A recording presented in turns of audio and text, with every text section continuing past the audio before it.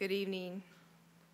At this time, if you would, please silence your cell phones and be advised that these proceedings are being recorded. If you desire to address the city council during the meeting, please complete, complete a request to speak form. They are available at the front entrance, and if you would, please give those to our city clerk. Speakers will be called upon at the appropriate time, and our speakers will be allowed three minutes of speaking time. This time, I will call to order and convene the regular meeting of the City of, City of Grand Terrace City Council meeting for Tuesday, October 22nd, 2019. Our invocation tonight and our Pledge of Allegiance will be offered and led by members of Scout Troop 40. If you would please rise.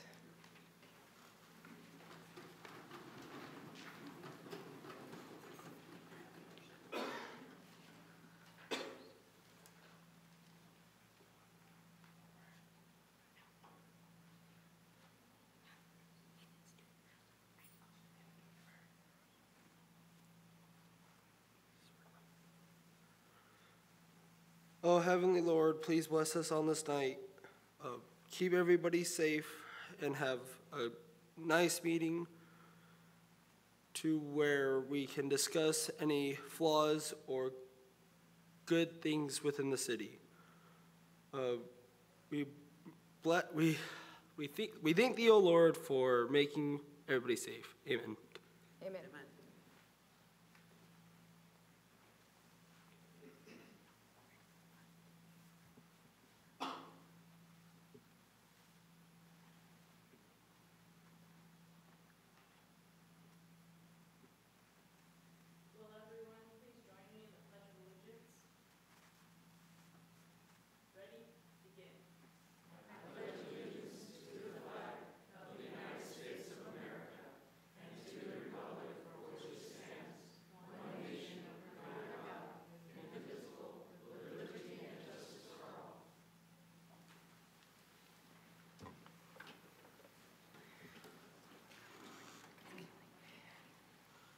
If you would, please help me welcome the young men of Troop 40. They did that at the last minute at my request.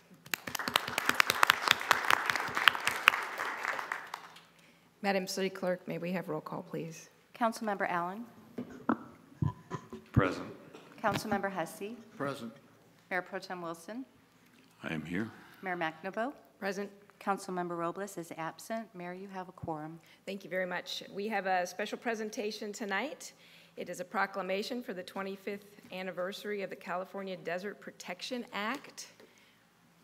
So I will read the proclamation, and I believe Mr. Moises Cisneros is here tonight, so I'll read the proclamation. Um, We'll have a photo op, and then I'll have you say a few words about this. All right?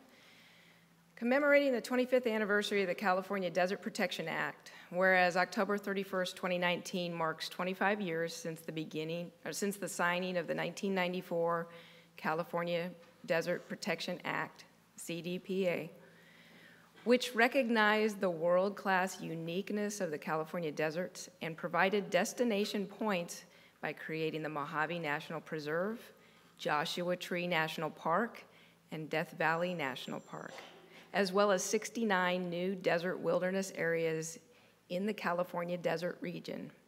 And whereas over the last 25 years, the protected lands and wildlife values of the California desert have created a benefit to desert travel, including visitor spending, industry earnings, and government revenue.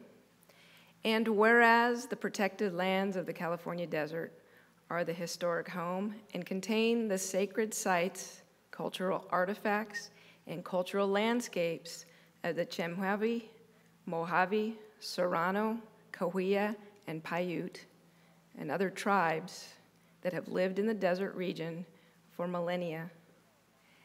And whereas the protected lands of the California desert provide a place for members of the desert community and visitors alike to view wildlife, hike, bike, and engage in off-road motorized recreation. And whereas the protected lands of the California desert provides a place for residents who enjoy the rural character of deserts, mountains, and wildlands to experience solitude, undisturbed vistas, and glorious sunsets, and to gaze up in the night sky without light or noise pollution. And whereas the protected lands and conservation measures of the California desert safeguard precious groundwater, aquifer watersheds, desert plants and wildlife, and air quality critical to our region and economy. And whereas the protected lands and conservation measures of the California desert are the product of community input and stakeholder engagement, and whereas it remains in the city of Grand Terrace interest to maintain the protected lands of the California desert as a recreational resource as part of the larger ecosystem and as wildlands. And now therefore be it resolved, the city of Grand Terrace honors and rec- recommits itself to the safeguards within the past 25 years of desert protection and the scenic vistas, cultural landscapes, wildlife habitat, habitat, dark night skies, water resources, military security, and economic benefits provided by the protection of lands in the California desert. Presented this 22nd day of October 2019. It is signed by myself and my colleagues up here with me and uh, Councilmember Robles, who could not be here tonight. If you would please join us over here for a photo.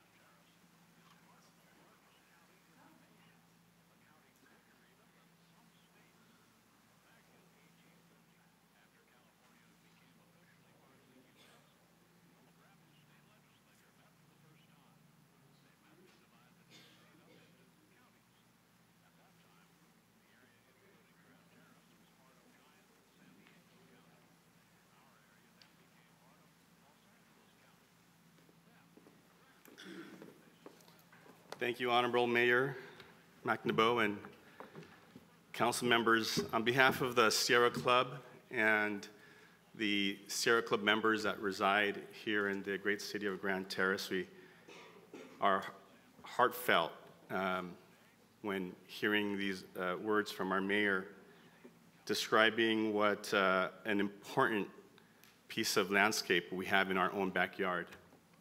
The economy, the impact on the economy of the desert is in the billions.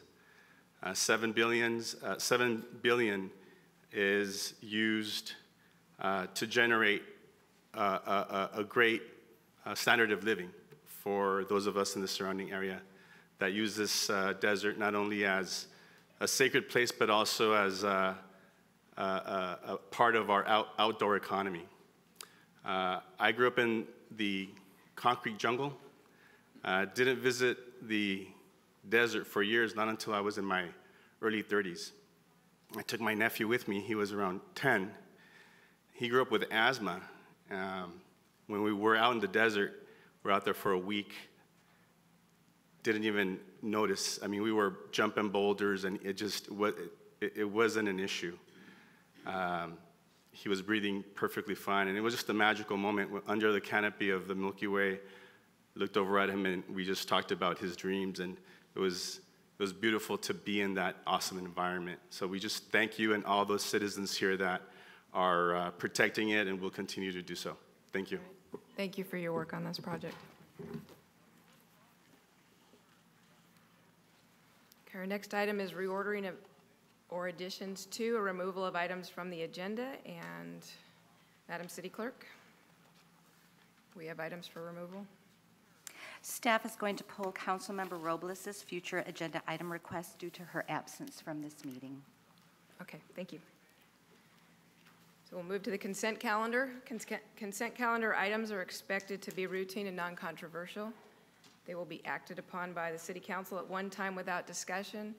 Any council member, staff member, or citizen may request removal of an item from the consent calendar for discussion. Are there any requests for removal of items from the consent calendar? All right, seeing none, I'll entertain a motion for the consent. Uh, Mayor, I'll move that we, uh, ac- what do we do with this thing? Uh, We approve the consent calendar. Second. Motion by Councilmember Allen, second by Council, or Mayor Pro Tem Wilson. Please vote. Motion passes with council members Allen and Hussey voting yes, Mayor Pro Tem Wilson voting yes, and Mayor McNaboe voting yes. Right, thank you. Next, we have public comment, and this is an opportunity for members of the public to comment on items not appearing on our regular agenda tonight.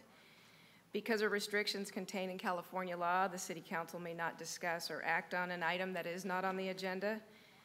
Um, They may briefly respond to statements or ask a question for clarification, and they may ask for a brief response from staff or that an item be agendized for a future meeting. Do we have requests to speak at this time? No, Madam Mayor. All right. We're saving it up for the items on the agenda. So we'll move on to council co- communications, beginning with Councilmember Jeff Allen. Thank you, Mayor.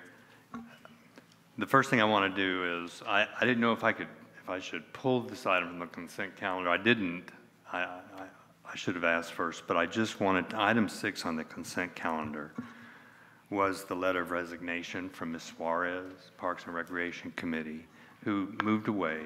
And I just wanted to publicly state thank you to Ms. Suarez for her dedication on the Parks and Recs Committee and, um, and to all the folks from the community who dedicate themselves to the various, you know, committees and councils and boards and different things that helps our, our town move forward.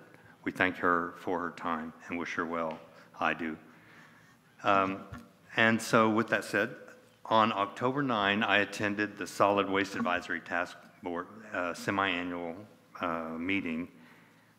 What I took away from that, I need to, or I'd like to bring it to your attention, that next year, uh, landfill organic waste must be, have a 50% reduction. That means all the food waste that goes to California's landfills. By 2020, there must be a 50% reduction. And in 2022, the regulations take effect, and cities and counties have to start reporting this immediately. Uh, Local governments will be responsible for almost all aspects of this um, effort by the state to uh, reduce our landfill waste by providing organic collection services to all residents and businesses, conducting education outreach in, in the community, um, secure access to recycling capacities, establishing edible food recovery programs. This is going this is what's happening net by next year is edible food recovery programs. And I think that's really a great thing because a lot of our uh, air quality is affected by the methane produced by the organic waste in our landfills. Um, So our cities, we are going to be, have uh, big responsibilities on us. We learned from a private recycler who is trying to establish a pulping plant and a mixed plastics to fuel plant. We heard from him. And uh, also that uh, we um, just, they talked about how over on California Street in Redlands, folks might want to try to avoid that. They're doing a lot of construction and grinding that street up. And uh, East Valley Recycling and Transfer has submitted a revision to the local enforcement agency to increase tonnage from 900 tons per day to 1,500 tons per day. On October 11, at the Omnitrans uh, route revision update meeting I attended, and I learned about that. And the only thing I want to say about that is I'll defer anything to you, Mayor, because you're on the board uh, of directors. But I just want to say that I and we are pushing strongly to get more bus stops, especially to go from here to the VA hospital, either from Riverside, from RTA, or from Omnitrans. We're really working on that, and so we want you to know that. I attended uh, the, on October 17 and 18, I went to the League of California Cities annual conference and expo. And I learned about new technology there that's being used to optimize city outcomes and, and transportation and modern policing technology in California. Uh, resiliency and tragedies, and that's affecting a lot of communities today. Uh, it happened in Santa Rosa this morning. I just want to, um, our thoughts go out to them. Um, we learned about you know, managing, uh, let's see, um, res- yeah, resiliency, uh, preserving community identity, and uh, Cannabis for All and Managing Housing. No, wait, it's Managing Housing and Cannabis for All, or, yeah, it's one of those. It was Housing for All and Managing Cannabis Use. That's what it was. Two different, two different training sessions. I was confused. But I learned about that too. And it was a great event, and I'm glad I went. Learned a lot. Thank you, Mayor. Thank you, Councilmember Allen. Councilmember Bill Hussey. Thank you, Mayor. I was going to say, Mr. Allen, I didn't know the Cannabis for All was part of the class. Must have been, I know it was a long sessions, but yeah, it was uh, really, okay, really unique, the League of Cities what they had. Um, I just got one uh, personal thing here is from the PTA for Grand Terrace Elementary or Terrace View Elementary School. Um, Tomorrow's Unity Day. From, it's uh, from 7 a.m. or 7:10 a.m. to 8:30 a.m. What this is is a request from the PTA was, uh, I read it, please join us as we take the morning to greet our students as they arrive to school. Unity Day is the signature event, National Bully Prevention Month, has been recognized in the United States since 2011 to participate in Unity Day. Individuals, schools, communities, and business wear or display orange to show support for students who have been bullied. The message from us is to kindness matters. Let's spread kindness on this morning at Terrace View Elementary School and show the students we care about the safe and kind community. Please arrive at 7:10 a.m. and come in the front of the school. You're welcome to make your own personal posters with the message that are positive and uplifting. For example, we are glad to see you. Kindness matters, and it starts with you. I'm glad you're here. You are loved. Stand up for what's right. Smile. Life is good. Walk tall and spread kindness.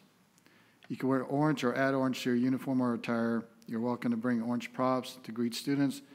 The more orange, the better. It's a simple message, and it's nothing more powerful than having all of you help send this message to our students. So thank you for choosing to participate in Unity Day. So it's open to anybody who would like to come out there at Terrace View Elementary and welcome the students as they come in in the morning. Um, wear orange if you have it, but just you know be a kind smile out there and welcome them. And it's a help uh, stop bullying in the schools. So that's all I have, Mayor. Thank you. Thank you, Councilmember Hussey. Mayor Pro Tem Doug Wilson. Thank you, Mayor. I'd like to uh, also mention that I, too, was invited and uh, I was the vote- voting delegate for the League of uh, Cities uh, this weekend. It was actually the 16th, 17th, and 18th. And I, I remember now why I hate the 91 freeway, because that's how I got back, and it took me about three hours to get home. But other than that, when I was there, uh, there was a lot of educational opportunities as well as uh, league business. And uh, one of the items that we voted for was uh, had to do with uh, what they call Rule 20, which is a utility fee, and it is has has been stretched at least according to the vote. We're in the process of lobbying for it uh, to include wildfire uh, items because, as we know, there's a real problem with it, and as we saw here recently up in San Bernardino, uh, it can happen to anybody. Uh, I really also enjoyed a lot uh, the information about uh, a grant that is out there, and I've had some conversation with staff a little bit about it. Uh, but regardless of the grant, the important thing is is that in order for us to be able to consider uh, providing for the future generations in additional housing opportunities. Uh, as you know, we're a very non-dense area, and we like it like that. That's fine. Uh, but there are also opportunities when you've got, like I have, I got a big old half acre, which most of it's useless, but I have a half acre behind me, and uh, ins- instead I chose to build, I, I chose to take down my third car garage and put in place uh, and add to it a father in law suite. And that served my father in law for the eight years he was with us until he was 90 years old. And it worked out real well because it was an easy transition for him to sell his single family home in West Covina and then be there near us with privacy. Uh, there was no door directly between my house and, and, their, and his little uh, space, and it was equipped with a bedroom, a bathroom and a full bath, a full kitchen, and a uh, little nook area, and, and of course, its own front door, and a little living area. In that, it was less than, or was, actually was measured exactly 350 square feet, which is less than a two-car garage. And he was a big fellow, so it worked out really well for him. He could get around and do what he needed to do. So I would suggest that if you're contemplating that kind of circumstance, last year the state uh, passed some laws that made it desirable, and not only uh, desirable but also affordable. Uh, just remember that you need to hook your uh, addition onto the existing unit uh, in order to be able to avoid uh, impact fees and so on. So I would suggest that you contact the city if it's something that you find would work out for your plans and see what you can put together in order to be able to create the, that second unit, uh, accessory unit. And that's all I have to report. Thank you. Thank you, Mayor Pro Tem. On October 10th, I attended the Metro Valley Study Session for the San Bernardino County Transportation Authority, and there were a few items of business to report on that. One of them was the preview of hearings to consider resolutions of necessity for property interests for the Mount Vernon Viaduct project in the city of San Bernardino. And so that's a bridge that, that spans a number of railroad tracks. It's been in existence for decades, and it, it really needs to be replaced. And so unfortunately, that means that there's property that needs to be considered. So while they're negotiating that, um, they are actually looking at starting the process for condemnation at this time in the event that perhaps they don't reach negotiations with the owners of those properties. We also recommended for approval to the board a cooperative agreement with the with uh, Caltrans for plan specifications and estimates, right-of-way phases for Interstate 15 corridor contract one, defining roles, responsibilities, and funding for these phases. And this is an expansion of Interstate 15 to include HOV and perhaps express lanes. And then we also recommended approval to the board for a second amendment to a contract with the city of Montclair for their construction of the Monte Vista Avenue grade separation project. On October 9th and 10th, I attended the California Joint Powers Insurance Authority Risk Management Conference. They had some very interesting topics. One of them had to do with public liability after a fire and how to prepare for uh, how to prepare your community for the things that come after a fire uh, perhaps comes through. We also had a nice um, a nice briefing by a couple of cities that had to respond to major disasters in their communities, mostly due to wildfires.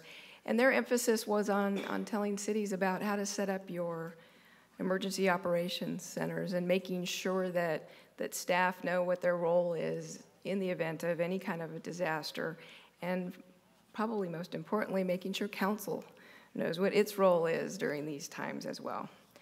We, there was a a session that I attended on cyber and ransomware exposure, and that's something that we really need to keep in mind because it can become very expensive and make it very difficult for the city to operate.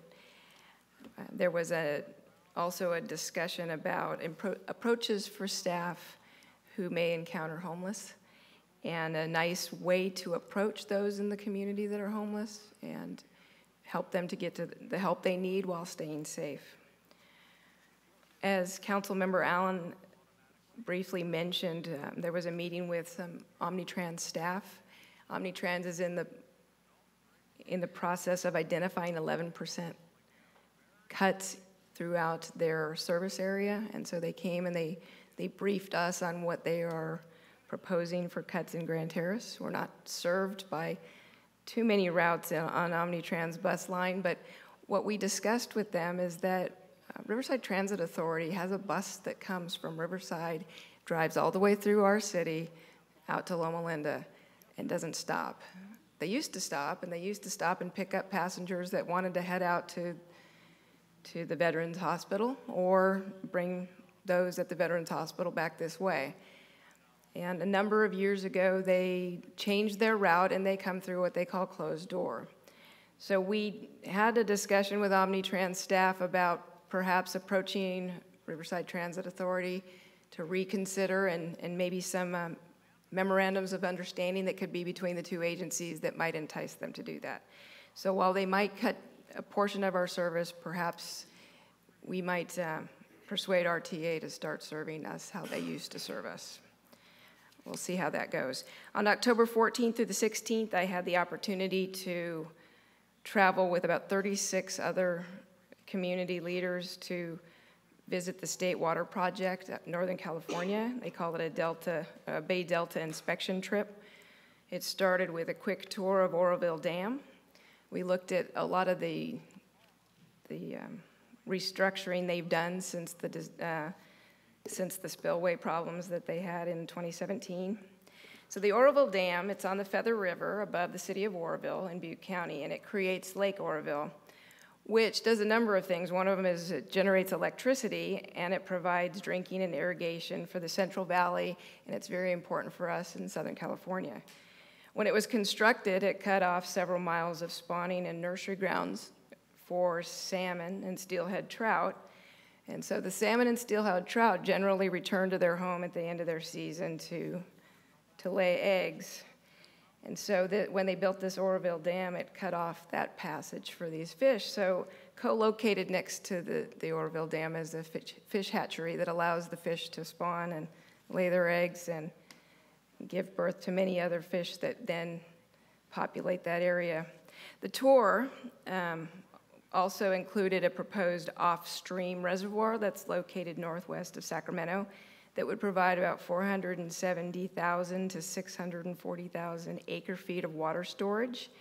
This would improve water supply reliability and flexibility in the system for Southern California.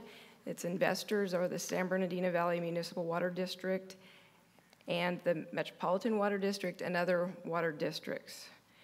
We also had a tour through the Delta Cross Channel and other areas in the Delta region. We were shown the issues that they are having that create the vulnerabilities in that inherent system that put in jeopardy the water that we receive from the State Water Project. And we learned of some of the research that they're doing. And lastly, we looked at the Banks pumping plant. This is located at the South Delta. It's called the Harvey O. Banks Pumping Plant, and it is the beginning of the California Aqueduct. There are 11 pumps that lift water from the Clifton Court forebay, lifts it 244 feet into the 444 mile aqueduct, and the water begins its journey from there and it ends here in Southern California. So the water from this system provides irrigation not only to the San Joaquin Valley, but also to urban Southern California.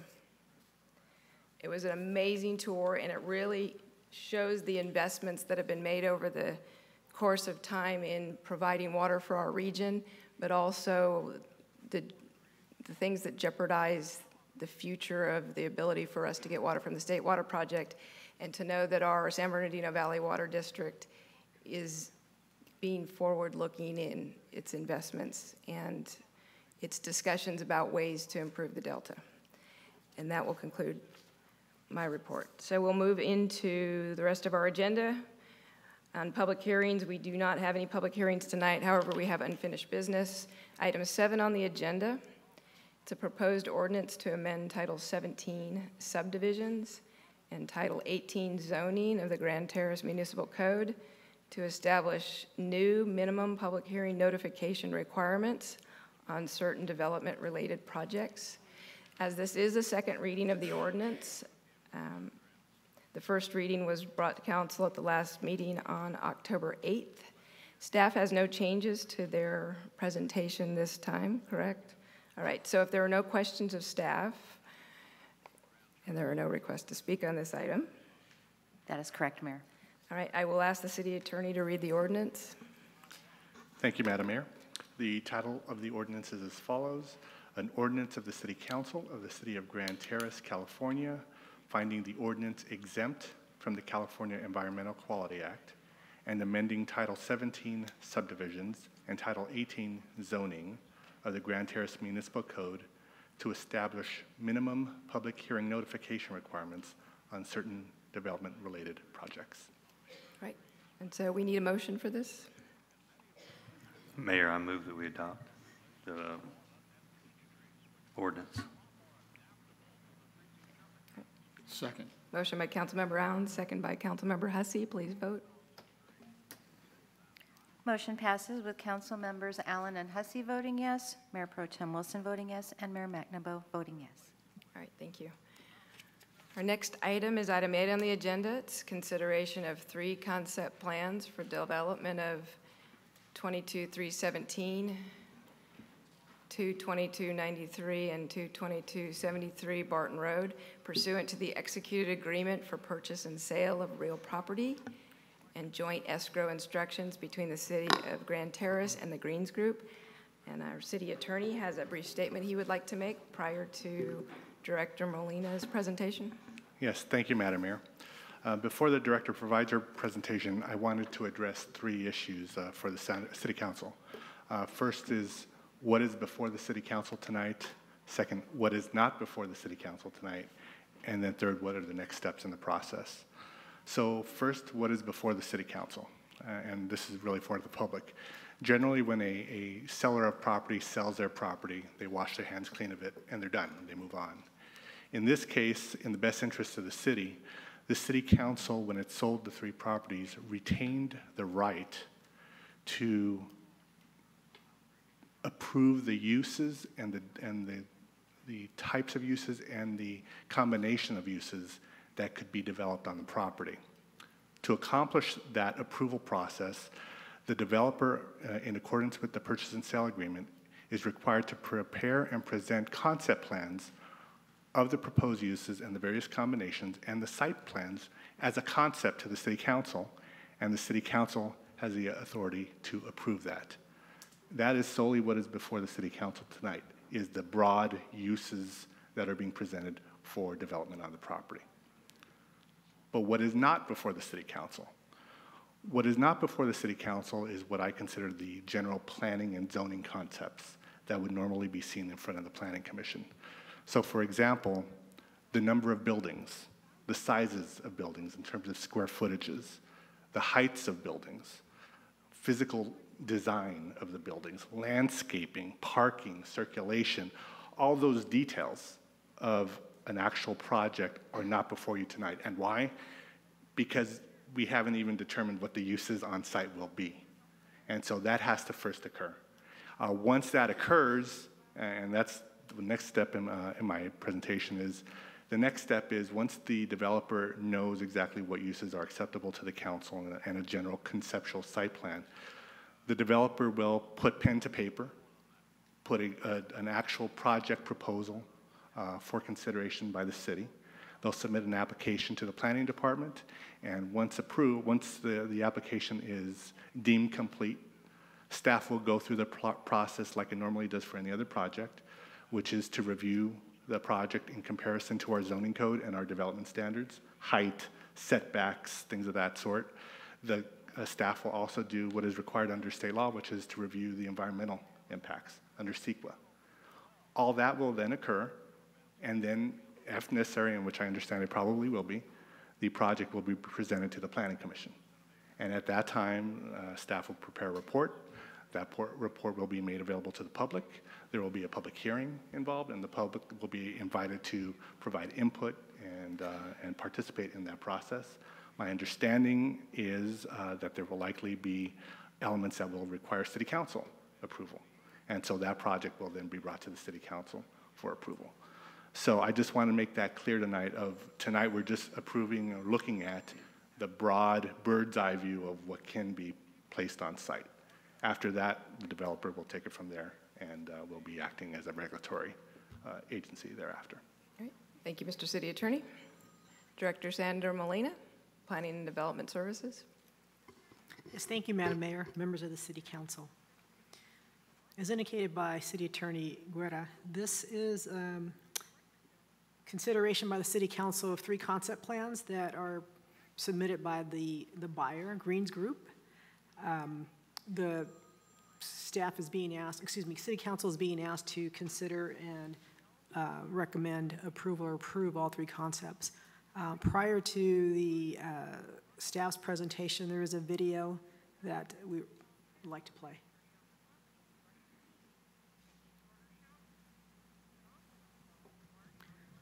So this is, um, excuse me.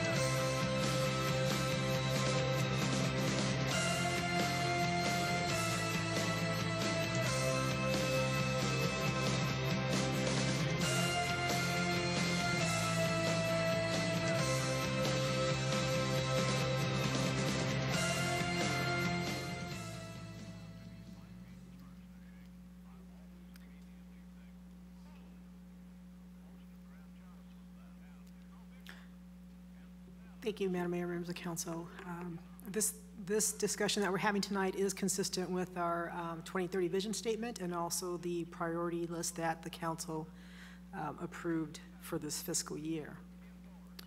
Um, A little bit more background, the city council approved on August 13th a purchase and sale agreement with Greens Group. And pursuant to that, to that agreement, escrow did open on August 16th. So right now, the buyer is going through their due diligence period. And part of the um, purchase and sale agreement required the submittal of the concept plan. Um, In that purchase and sale agreement, there was section, there is section 8.1 that uh, requires the concept plan and also identifies that the seller is in favor of certain uses such as the office, hotel, sit-down restaurants, retail uses, the multifamily uses. Um, The agreement also indicated that um, the seller uh, did not want um, pawn shops, laundromats, um, service stations, gas stations, and convenience stores. And so um, those were the parameters by which the agreement was approved. The um, properties are, are um, just west of the canal. This is uh, Brookdale Assisted Care Facility. McDonald's is here on the west, and so it's these three parcels that um, are the subject of discussion and and escrow at this particular time. The three concept plans um, are proposed, and the, as indicated by the city attorney, the council is only considering the uses. Um, And what this does is, once the council or the seller um, indicates the uses that are acceptable to seller, then that, um, and and by proposing, staff proposing all three different concepts, that gives the buyer the, the flexibility to be able to move forward with any of those concepts and expedite the process. Um, The next step, again, is to go through the entitlement process through the city uh, planning department, and it'll go through public hearings to the planning commission. So um, the agreement required a site plan to show the arrangement of the structures, to show the improvements that would be constructed, to show the parcelization. Um, We anticipate that the site will be re-subdivided. Um, The buyer is also aware that with the development of the site, intersection improvements will be, need to be done on Canal. And so, um, in doing that, this property here, this corner, is owned by Brookdale. We refer to it as Brookdale property. And when this intersection's improved, there will need to be some right-of-way acquired and um, widening done to accommodate through access. The city, um, city manager has spoken with, with Brookdale property owners, and they are aware of this request, and they are open to um, the um, process of allowing the improvements and then also possibly acquiring in the future the property.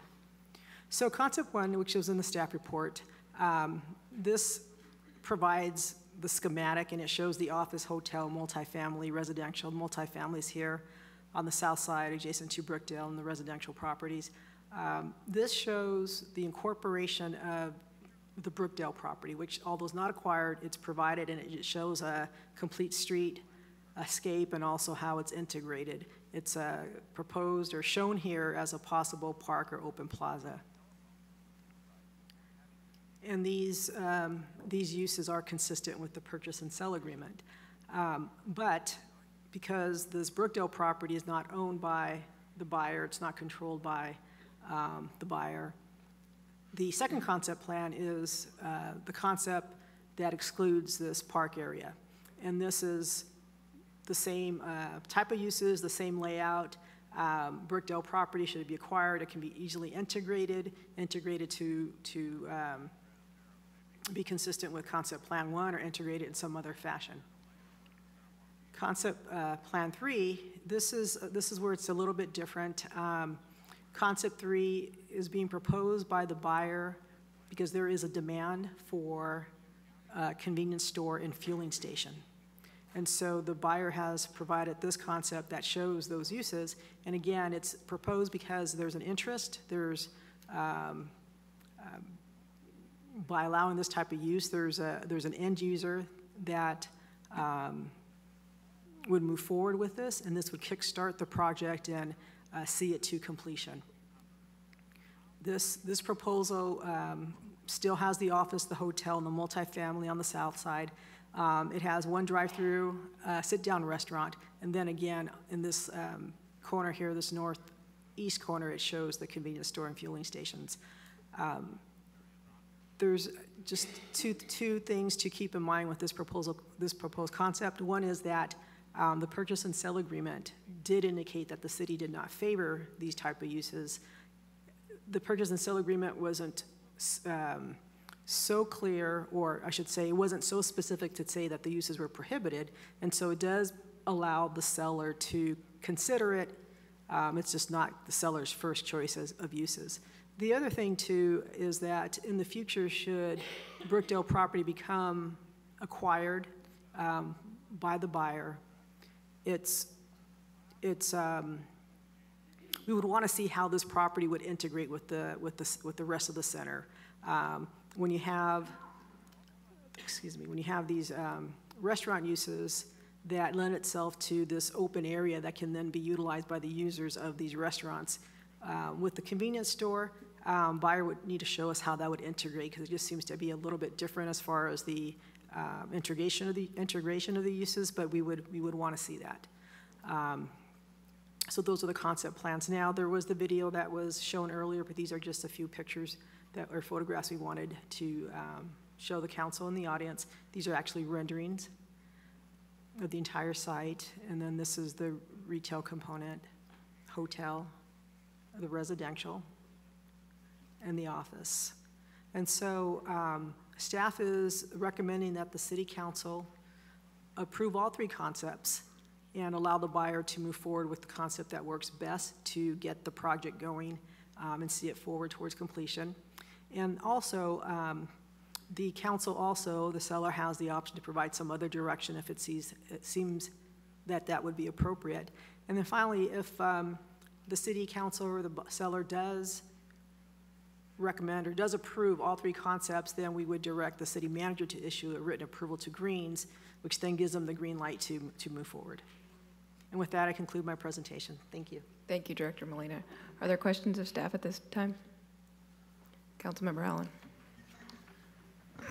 How is it that the items that are shown in concept plan three, how do they expedite or kickstart the project? And is there anything else that could expedite or kickstart? Why or why not? Thank you. So, um, Councilmember Allen, I think that, that question's best answered by the, the, um, the Greens Group, because they've been in, you know, they have that background information and can better demonstrate that or explain that. But I'll, I'll be happy to, to um, respond to any other questions you may have. Um, That's the only one I have right now. Uh, And if you don't want to answer it, that's fine, I can take it later. Okay. You, you don't, you, you don't, It's- wh- wh- What it, in It's high level- okay high- High level, what it is, is that there's, there's a, there's uh, an interest for that type of use. okay. And if that interest moves forward, then there's a financial component that helps construct the project and do all the infrastructure improvements. And I think the city manager, Mr. Duffy, wanted to, to also add to that. Mr. Duffy? Yes, thank you, Mayor. For the record, G. Harold Duffy, City Manager. And uh, the uh, applicant, the Greens Group, can actually answer this question, but often in development projects, what, what the developer will have to do is they will, will- they will shop the project, and then based upon interest uh, for the project, they can then monetize that interest. And so because they've already received significant interest in a certain type of category, they're looking at this and they're saying, okay, so, so we can spend uh, our uh, appropriate time marketing the project. Or we, if we have someone already to give us the financing to be able to push the project forward, it just cuts down time. And that's, that's what she's saying is that is the, the interest is there based upon the market. And this is all about the market and uh, being able to monetize your contracts to, to, to your complete building. But uh, you, Greens Group, Adam, Adam Corral and Angelo, and Angel uh, Orozco are here from the Greens Group and more than welcome to, to add anything if you want to, sir. Honorable Mayor, City Council staff, um, thank you for having us today. So, well, the whole concept here is we're working on a project over at Van Buren and the 215 Freeway right now, and it's a very similar mixed-use development. And what we found is, it, when, when you have a large project, a lot of people always sit there and say, especially when you're taking it to the market with brokers, what happens is somebody will ask the question, well, who's coming? Who's coming? Who's coming? And we had a hard time. We bought that property out in 2014, and lo and behold, we got lucky and In-N-Out came. So once In-N-Out came, we secured Starbucks. We were able to secure um, uh, Jersey Mike's. We got uh, another fuel station out there, uh, 76 Circle K, and Hampton Inn. Um, so, but, but it took that initial user to take that, that first step. Right now, we actually have a user that's interested in that first step, and that's actually the fuel station. So that's what it allows, is it's like who's coming, and you can sit there and say somebody, and the fuel station actually does drive traffic that will also help a coffee shop or some type of other user to come in online. So that, that's why we're- we're actually asking council and um, staff to consider this project. Thank you. Councilmember Allen? Um, Yeah, I just had one more is, so how, how much do you believe it would expedite? What's the quantitative value of that, of that? Was it It's- six months, a year, six weeks? It, it's all market driven, and honestly, it's, it's really hard to say. It just really depends on what the brokers can, can secure. Um, the, the other thing I like to point out too is, is with that type of density, one other thing we've learned in our, pro- in our mixed-use development projects, it's exactly like what uh, uh, the city attorney just stated a little while ago. It's also better, I think, to analyze a project with that type of density, so because it's always better to have density and not need it than to need it and not have it. So we, we would like to actually analyze it to the maximum extent practicable on the site. It was, it was interesting that I noted that the project you're doing, you mentioned in, on Van Buren 215, that the, um, the, the entity that kickstarted that project was a restaurant. Is that Correct. correct? Correct. Yeah, But- but- that's but- what, that's a, yeah, okay. Uh, Totally understandable, sir. Um, In this case, we actually have a user actively interested in pursuing this site. So tha- that's the one thing, if we don't have a user, then somebody comes in and says, well, who, who else do you have? And it's like one of those things that can actually become harder to market in the future. So that's why we'd like the city council and staff to um, consider this, this option. Thank you. C. Thank you. Before you sit down, sir. Before you sit down. And are you Mr. Orozco? I'm sorry? You're, Oh, you're I'm sorry, my name's Adam Corral, I apologize. Adam I'm I'm the VP of Devel- Development at Greens. Mr. Corral.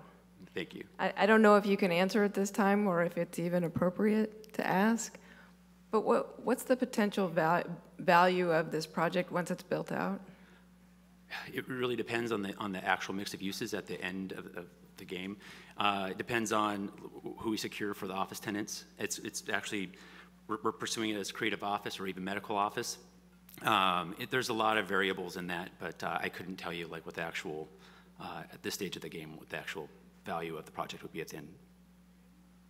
Okay, so you're not, and you're not comfortable with the ballpark then either? Oh, I, I I don't, I'm not a number, I'm not No, the no, numbers no, guy on that that's side. If all Ottman were here, he'd probably be That's able to okay. divulge that information, but. That's okay, I appreciate that. All right, any other questions of staff or um, Mr. Corral?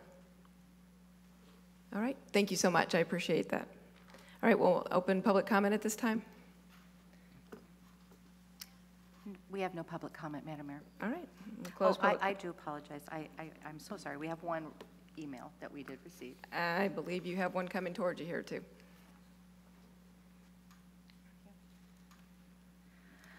We received an email from Ms. Stromwell, who um, opposes the project, and she would prefer something smaller, but she does not like any of the concepts as presented. All right, thank you.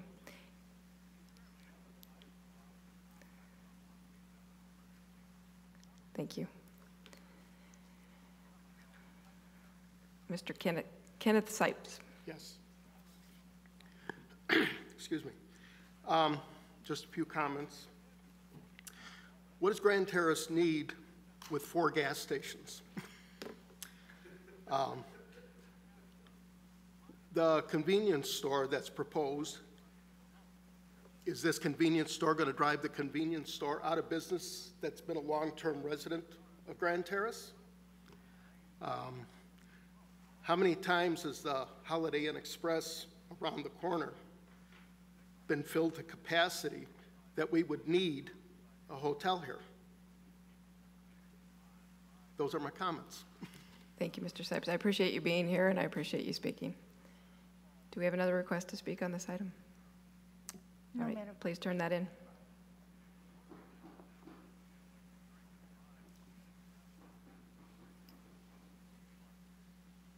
Thank you. Ms. Linda Bartman? Yeah, um, just want, in all this planning, to take into consideration the commu, the, the housing tract right behind, which is where I live, Reed Avenue, it's got, um, we're right behind the, um, senior complex, and right across the street from us, they built the Hidden Gate. Now you're going to take away what little view we have left of anything right there, building, we're one house away from that field you're going to build in. And we've been there 33 years, and we've seen a lot of changes. And you took away our view of the mountain. Now you're going to take away our view of anything. We're going to have, what, a three-story apartment complex right at the end of our street? I don't think any of you on that board or on that council would want that right outside your house. And I think you really ought to take that into consideration. Everybody in that little street we live on, it's about a three-block area, have been there long-term. I'm surprised more of them are not here. But, um, you know, consider everything. Consider the people that have been there long-term. Been in Grand Terrace when it was still a little pokey nothing town, and that's why we moved here. And please don't block what little view we have left. Don't put an apartment complex right at the end of our street. Just, you know, think about the little people. Thank you, Ms. Bartman. I appreciate you being here, and I appreciate your comments. And I see another request to speak for him.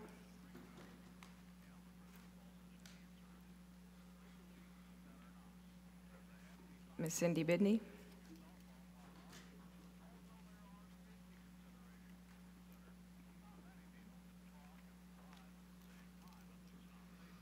Hi, guys, I'm back. Um, I want to thank you for your support and your service. Um, I want to thank the mayor for supporting our neighborhood. I saw you out there walking the project with your husband and um, considering our concerns. I'm sure you all remember a lot of the concerns that we had while Stater Brothers was uh, proposing their project, and who was the other guy, Johnson or somebody? Um, our neighborhood has suffered some problems with um, kids hanging out, drugs, uh, whatever's going on back there, uh, littering over there um, by the wall. And as you know, our neighborhood is very close to that wall. One of the things we fought for was to have a setback so that we wouldn't have to be so close to the project. One of the good things that happened was there was a driveway put between the, um, the Stater brothers and our neighborhood. However, the project that, that's being proposed is like five stories high and right to, back to our, our neighborhood. One of the rights that we have is quiet enjoyment. I fought for that uh, when the Stater, uh, Stater Brothers project was going in, and exactly what happened. We have deliveries at 5:30 in the morning, 4:30 in the morning. They wake me up. Um, it's consistent. The mayor's helped me out with that. I've had some some delay, in, in um, but it it happens again and again. Um, overbuilding that site is not conducive to our little neighborhood. What we really talked about, uh, what was it, 20 years ago, was um, a river walk setting, something, um, something we as a neighborhood could enjoy. And I'm not going to enjoy people in a hotel looking down into my backyard. I'm not going to enjoy, I don't know what kind of multifamily, uh, I guess it could be anything. It could be retirement, it could be Section 5, it could be uh, apartments. And all of that makes a huge difference. I'm not against developing, I'm not. I never have been. Um, but I would like you to be responsible and take care of us. Um, and also take care of your promise to our neighborhood before. The project was supposed to have a development of, of shrubbery and greenery on our side, and that's all gone to the wayside. Okay, thanks. Thank you, Ms. Bidney. I appreciate you being here tonight. One more. Thank you. Jay Bartman?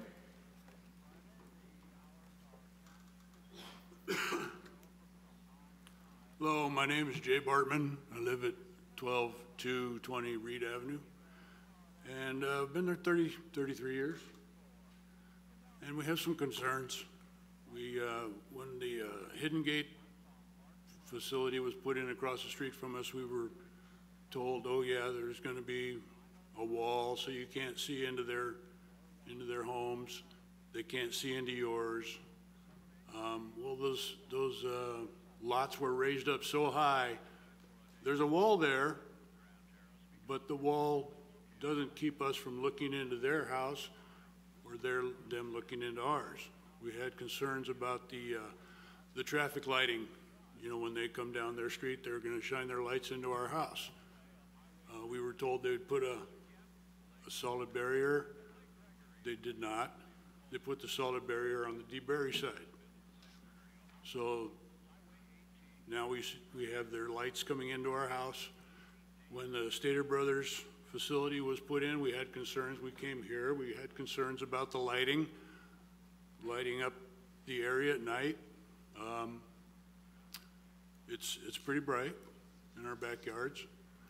The, uh, this new facility is only gonna add to that. Uh, no matter how it's addressed, you're gonna add people with lights, It's going to be bright. Another concern is we don't want Reed Avenue going through. We don't want the traffic. We don't want foot traffic. Uh, If, if there's even a walk-through gate, we will be inundated with shopping carts. We don't want that. Um, I, I am sorry to report that we have had trouble on our street with vandalism. My, our mailbox has been destroyed three times in this year. I reported it once to the police. Um, My neighbor, same story, and on down the street. You can, you can talk to the other residents, and they've had the same problems. Um, I used to be on the skater side. Not anymore. Um, They throw trash in our house, you know, in the front yard, in the street. Um, it- I, I, I hope that you address these issues that we have. And we really don't want to see five-story buildings, four-story buildings, three-story buildings. You know, we, we, we really, we just don't want to see that. Thank you. Thank you, Mr. Bartman. I appreciate you being here tonight.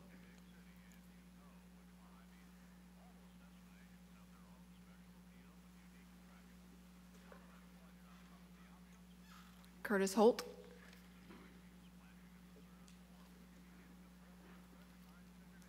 Hi, good evening. Um, I live at 12209 Pascal, which is on the corner of Pascal and LePay, right behind the Stater Brothers as well. The area on Reed has been a problem. We have people parking back there, lewd acts, drugs. We have a hard time uh, policing that, and we have a hard time getting the police out there. So this is one thing that I think should be taken into consideration as well. With another multifamily housing project that's going to be able to climb over the wall as people are doing now, I think this is going to increase. So I hope that you guys take into serious consideration uh, the police force that we have in this city and plan to make moves to give us a little more protection in that area. I, I just don't want to see it get any worse. I've only lived here five years, but I'm the one that's moving people off of LePay, and I'm probably getting a reputation for that already, but um, we, we just don't need any more problems in that area. So please take all that into consideration. Thank you, Mr. Holt. I appreciate you being here tonight. With that, I will close public comment.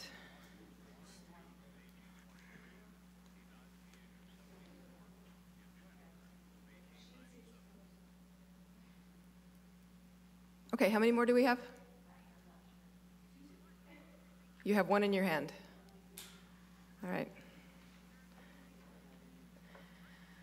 Tara Sestenya.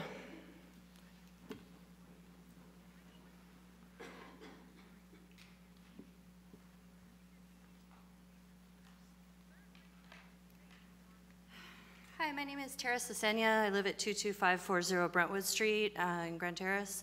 I'm also a planning commissioner, so for full disclosure. Um, I understand everybody's complaints and issues, but I also understand Madam that... Mayor, may we take a two-minute break? Sure, we're in recess for two minutes.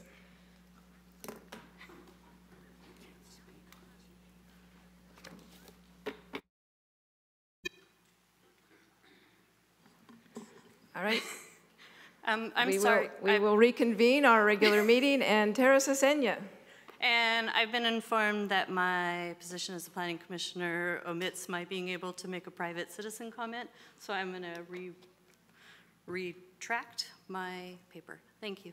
because this will come before you later on. Yes. Thank you for being here tonight. All Madam right, Mayor- Madam Mayor, if I may, just to clarify. Mr. City Attorney. Thank you. Um, So what I, I just advise is that she's welcome to speak as a member of the public, but if she does, potentially, that may uh, uh, affect her ability to participate in the decision when it does go before the planning commission. So it's her decision, but I just wanted to make her aware of that right, issue. I appreciate the decision that you made. And, and just to be clear for the record, that, that applies whether she's in support of the project, against the project, whatever her thoughts are. Just want to make that clear. Okay, I know I rushed you in writing your name. Ag- Angela Wagnon, thank you. I thought about that as I wrote it down. I went, nobody's going to be able to read this. um, we live at 22322 Van Buren Street. We lived, lived here 18 years. And um, I'm excited for, we need tax revenue. I do understand that. I don't think we need four gas stations and a convenient, we have a convenience store. We're not even four square miles. I mean, I know that there's the new subdivision that's over in Highgrove. They probably could use it, but, I mean, it's not really necessary. But my husband and I would love to have a restaurant where we can go and sit and have a drink and food at the same time. We don't have that. We have one sit-down restaurant. so I'm excited about that. Uh, so I like the first two. If you guys could possibly not do the gas station and the convenience store, that would be, that's all I wanted to put in. Thank you. Thank you, Ms. Wagnon. I appreciate you being here tonight. Okay, is that the last one? As far as I'm aware. All right, I'm going to close public comment and bring it back to council for their comments and consideration of a motion. Uh, Madam Mayor, Councilmember Allen. I, I have some comments that I have like to make about this project. Um,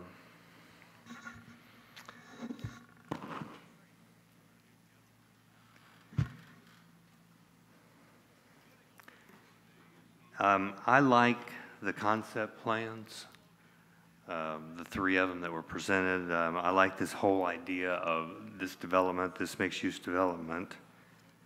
Um, if I if I had my preference, though, I like the, I like the concept plan one with the outdoor area, that little you know sliver of land that's right by the entrance road.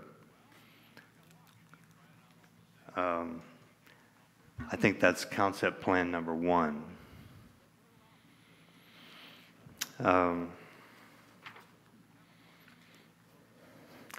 I- Are there any-? Councilmember Allen, I think the concept number two is similar to that, but it is taking into consideration that they may not have control of that piece of land there.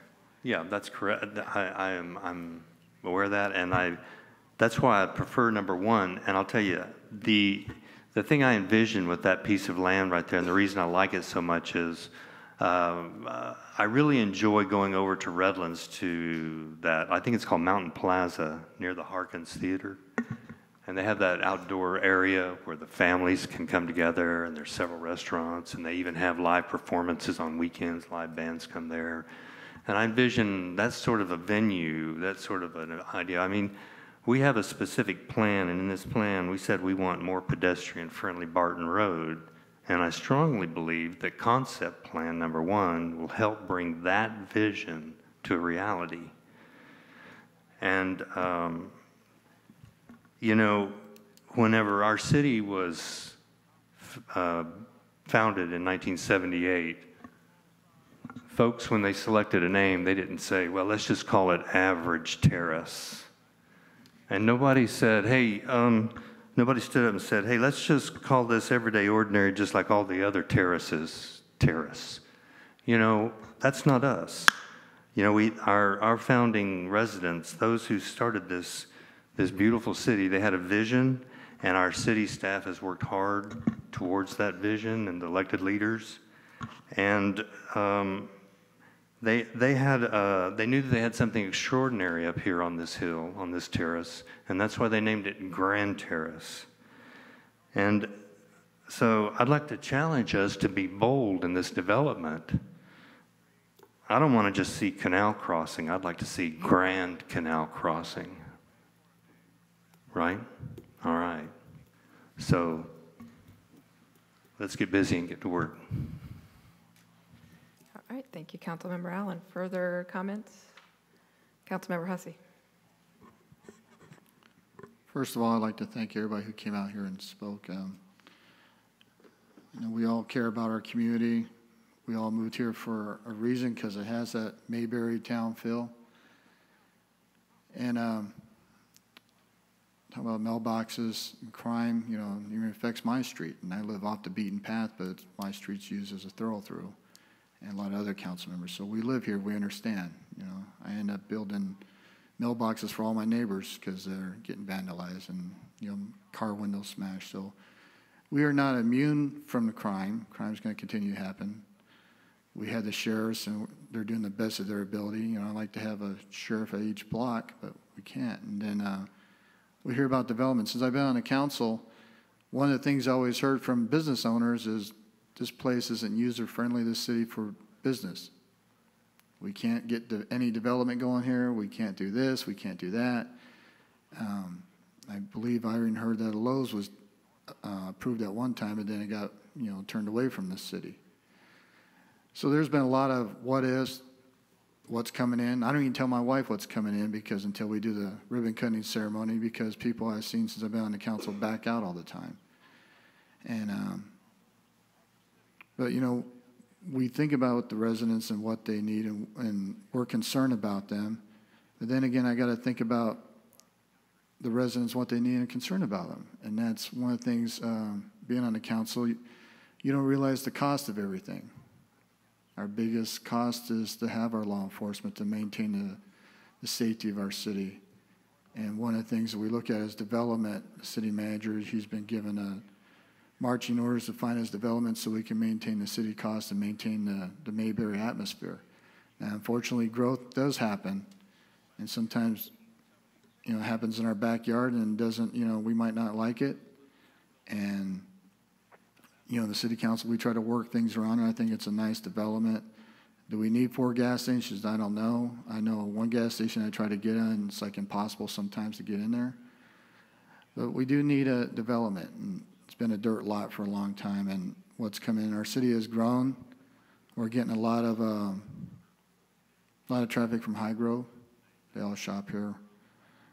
We do have one sit-down restaurant that does serve, uh, alcohol. So just to put that in perspective. But uh, I'm just saying, you know, we have to think about the concepts. I liked all the concepts like Mr. Allen.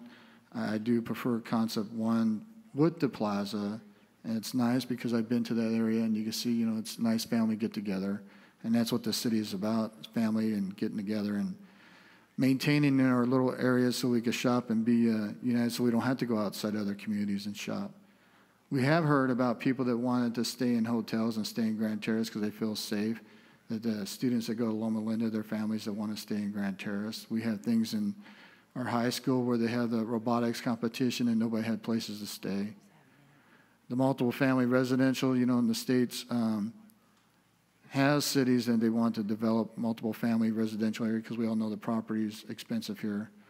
So we have to look at their needs too, the young families starting out. So, you know, approve all three concepts, but I really like concept one, but I'll leave that up to developers. So that's all I have, Mayor. Thank you. Thank you. Mayor Pro Tem, you had comments? Thank you. I have a, uh, I'm requesting a clarification from staff. Uh, That, uh, I guess the exit or whatever it is, near the multifamily residential unit, is that not a, a, uh, a fire exit only? Says the slide, best I can tell with our little deal here, it says it's sliding. That doesn't tell me anything.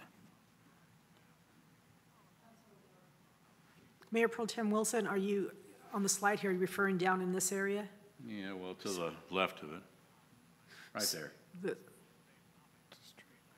This, this may be, um, is that a fire exit? Yes, it's a fire exit. That's what I thought. So it's only set up for f- emergency fire egress. It's not set up for, you know, regular everyday traffic, correct? Okay. So just so the neighborhood knows that. All right, so uh, the intention is not to, you know, you get a freebie in between the multifamily residential and your houses. Yeah, Um, that is Mayor Pro just an Tem, I think, emergency. I think Director Molina has more to say on that. J- Just, just for clarity, um, Mayor Pro Tem, uh, so this, and, and yes, we're not talking about site development, but because question was asked, um, this residential multifamily, the, the, the residents of this have access through the center and through this back end, but this commercial traffic has no access to the residential. There you go. And. I think that's, that's where, you- where you were going with that. That's where I was going. Thank you. Okay, the further discussion of all of this will be at the Planning Commission if we decide to move forward with this. And so I hear questions from the audience, but we've, we've gone past the public comment period, and we're really just looking at the concepts and what we like here tonight. So Mayor Pro Tem, did you have more questions about the comment, or more comments about the concepts? Which ones that you like in particular or do not like?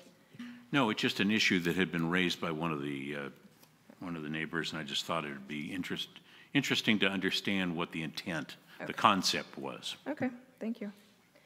Mr. Adam Corral, you uh, had a comment that you wanted to make?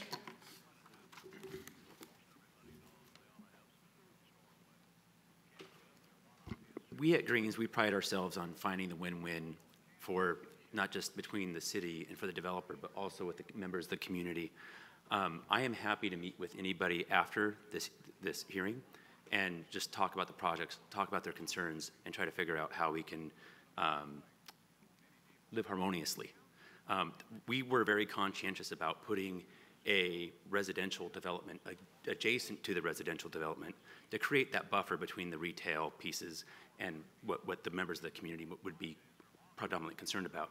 Because I believe the RFP originally had it to where that was going to be a commercial use, but we were actually the ones saying that doesn't make sense because of the community. So that was one of the things that I wanted to kind of point out to everybody, that we are trying our best to try to accommodate the community as well as the city needs, along with having a successful development. And I also got an answer for you, the development would be about 50 million. Thank a- you. Net asset. Um, And the one other thing I'd like to add is, is, is we still would like to move forward with option three, only because, like I said, it's like, I want to, we want to analyze that density and everything else, so if we could also still consider that, I greatly appreciate it, because like I said, we are trying to create that buffer. And, you know, I think that everybody likes to have choice as far as like what they, where they want to fill up. All right. So thank you. Thank you, Mr. Corral. Further discussion from the council? Councilmember Allen? Well, I don't, I don't think that the, uh, the question is, for me is not about whether or not Grand Terrace can support another gas station. Um, I just would like to, if we do, I would rather see it in a different location, closer down to, you know, somewhere between Michigan and the freeway, and, uh, or on the other side, you know, and not in that particular uh, development. So I believe that over time, as- as, in, in the future, the traffic's going to be there that can support, you know, another fueling station. But I prefer in this development what I see in concept plan number one. Okay, so you're saying you would like to ha- only, only consider concept one? Um, No, I'm not saying that I would only consider concept plan number one. Okay. But I'm saying that my, I strongly prefer concept plan number one. All right. It's my, s- my preference. I just see, a- I, I know we're trying to create a, an area that's pedestrian-friendly, walkable, enjoyable in the evenings, and I just think that that plan can help us uh, achieve that vision.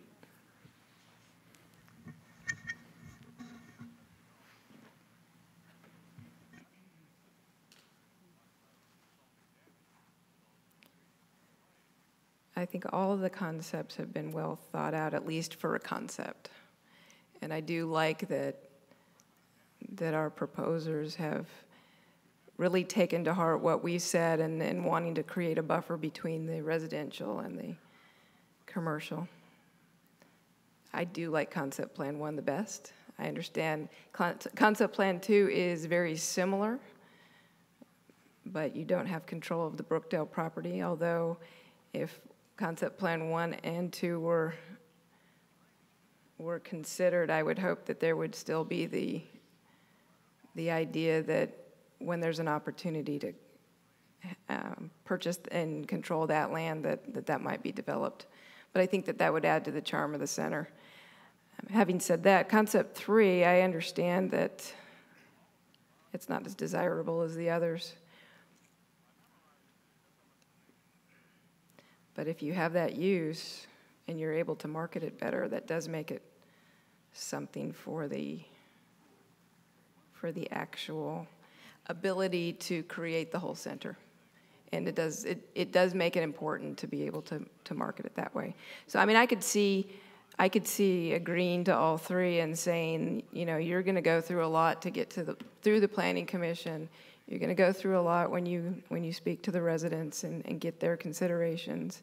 And I imagine that there's probably gonna be some change by the time you get this finished. So I could support, um, moving forward with all three concepts. Uh, Mayor, Councilmember Allen? I would like to know if there's any, if anybody could say with any sort of authority how, if concept plan number three were approved, or were the one that was made, went through with, how, what effect does this, um, this business, the, this, this convenience store gas station have on those other businesses who are looking to occupy those pads? Is whoever's first, does that influence whoever comes afterwards? Is my question, you know what I'm saying? It's an interesting, correct? Mr. Duffy, can you comment on that? Because I'd like to have some high, high-quality grand businesses in this, in this development, you know? Some really, you know, good stuff. Yes, and if I understand the question, I, you're looking for, um, I mean, there are no guarantees in terms of, uh, in terms of the development. What, what I can tell you based on my experience and based on uh, my conversations with, with the Greens Group, the strategy in which they're using is to have that first user and then and bring in, after going, after going to several uh, conventions, shopping center conventions, it's, it's always important to have, you know, that, that, that one carrot for the other developers. And it's, it's, you know, when we were at the conference the other day, uh, and we saw that happening tonight, um, is once you get the one person to step out there, and it's, it's the one business to say, this center is a good center, and if it's a national brand, then you have them follow. If you ever go to, uh, uh, if you ever go to a, a shopping center, if you go to a, a, a Walmart, when I was doing development in other cities, I, would, I mean, people didn't like Walmarts, but I said, you have to look beyond that. When you go to Walmart, there's always feeder stores around, around them. So if you go to, right, right now, what I, what I see when I go to Corona, I see a Stater Brothers, an AutoZone, I see a Miguel's, and then I see what, what I'm hoping, I just, I just reference what, what's happening here. Then I see Chipotle and, and Carl's Jr.'s and other places around those centers. And so what you, what you have here is that once you get a national brand, and whoever that national brand is, they've got a model that's, that says these customers congregate in this particular area. And so depending on who the national brand is, you're going to, you're going to have that, that um, synergy uh, develop there. Yeah, but what kind of business would, I mean, does the first business in influence the rest of the businesses that come in? I mean, you understand what I'm saying? I mean, Right. does, Well, I, I think it really, it, it's about, I, there, there are no guarantees, but it's really about relationships and it's about uh, the business model. Um, I can tell you, based on the tax revenue, every business type and what the value is going to be. That same model is run by the Greens Group. They have a relationship with, he just, he just told you uh, that his first, his first uh, deal in, in Riverside was In-N-Out Burger. Um, and so part of this whole process for me was this project, I was marketing this project three years ago, going from shop to shop to shop to shop to shop. And then I got smart and said, wait a minute, the real get a developer to do it because they've got the relationships.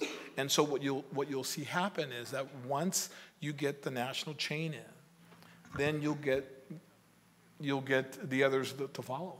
okay, so I'm, I'm thinking about the newest developments around us. I'm gonna think about the one in, in Redlands, you know, like over there where the Sprouts is. Um, there's not a gas station there.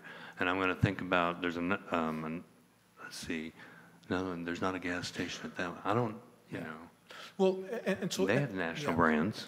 Well, a- and that's because, you know, in Redlands, they, they do have that density. And one of the things that people need to understand about Grand Terrace in terms of the development, people see Grand Terrace as 12,000 uh, 12,000 population, uh, three square miles. And, and so we have a, a retail capacity of about $65 million in a one mile radius. But that number jumps to 250 million when you go to three mile radius. That number jumps to, at a five mile radius, that number jumps to $1.6 billion. And if you, if you look at around us, how many shoppers that we have right now in this general area that shop in the, the nearest, biggest section of, of shopping centers is San Bernardino. And, and most of the residents in Grand Terrace, Highgrove, Loma Linda will not cross the 210 freeway to go over there. So they're going much further away. And so we have a retail sales leakage that shows that we have this five mile, five mile capacity where Barton Road could be the center of commerce for the area. And so by, by this center should be a should, should be the catalyst to, to doing just that. So the first one in is going to, is going to make, is going to make a, a really big, a really big impact. I think what Councilmember Allen is saying is if the first one in is a gas station, does that mean that the rest that follow aren't as big a name as they might be if you started with something other than a gas station? Well, I I think what you, what you really have, uh, it's, a- it's a very good question, but the Greens Group and any developer that is going to look at Grand Terrace, they're, they're looking at, the first thing is they're looking at the median household income. So people want to go Trader Joe's. Trader Joe's will not come to Grand Terrace because Trader Joe's needs a hundred and five, hundred thousand dollar median income. Although ours is good at sixty-nine thousand, they, they will not come in, into, into the area unless you have a really dense population. And so, um, the first, you know, I've talked to multiple developers. If the first one's fuel, what you're going to have there is this. Fuel isn't the caveat, but the driving factors of, of, of, of, of cars coming in is going to, it's going to increase. So fuel becomes the destination point, but then you have all these other amenities, and, and you, and that's what, and that's what happens. So, you know, if you had a Trader Joe's come in, that would be great then you would get lots of other activity around it. You have a fuel station come in, and it's not because of the fuel, it's because of the traffic that's driving into the fuel station, and that's going to generate the, the other restaurants and the, and the fast food places and so on and so on. And so the developers can tell, tell you more about this, but my, my experience has been is that they've got a model that they've built in. And it's so very important to have a, a successful developer who has a list of uh, clients that they've worked for that, that they're going to be able to build a good development, have a reputation, and they're going to be able to offer a quality product. And that's really what, what this is about. And what they're saying is that ba- ba- based upon fuel, they can take a contract from, from fuel and be able to jumpstart the project. That's, that's, their, that's their overall goal. But I, I do want to say this to the council. I think the council's made it known, the comments, what their preferences are. And so while the Greens Group would have the flexibility to look at fuel, I think that the Greens Group is wise enough to understand what the council has said here today.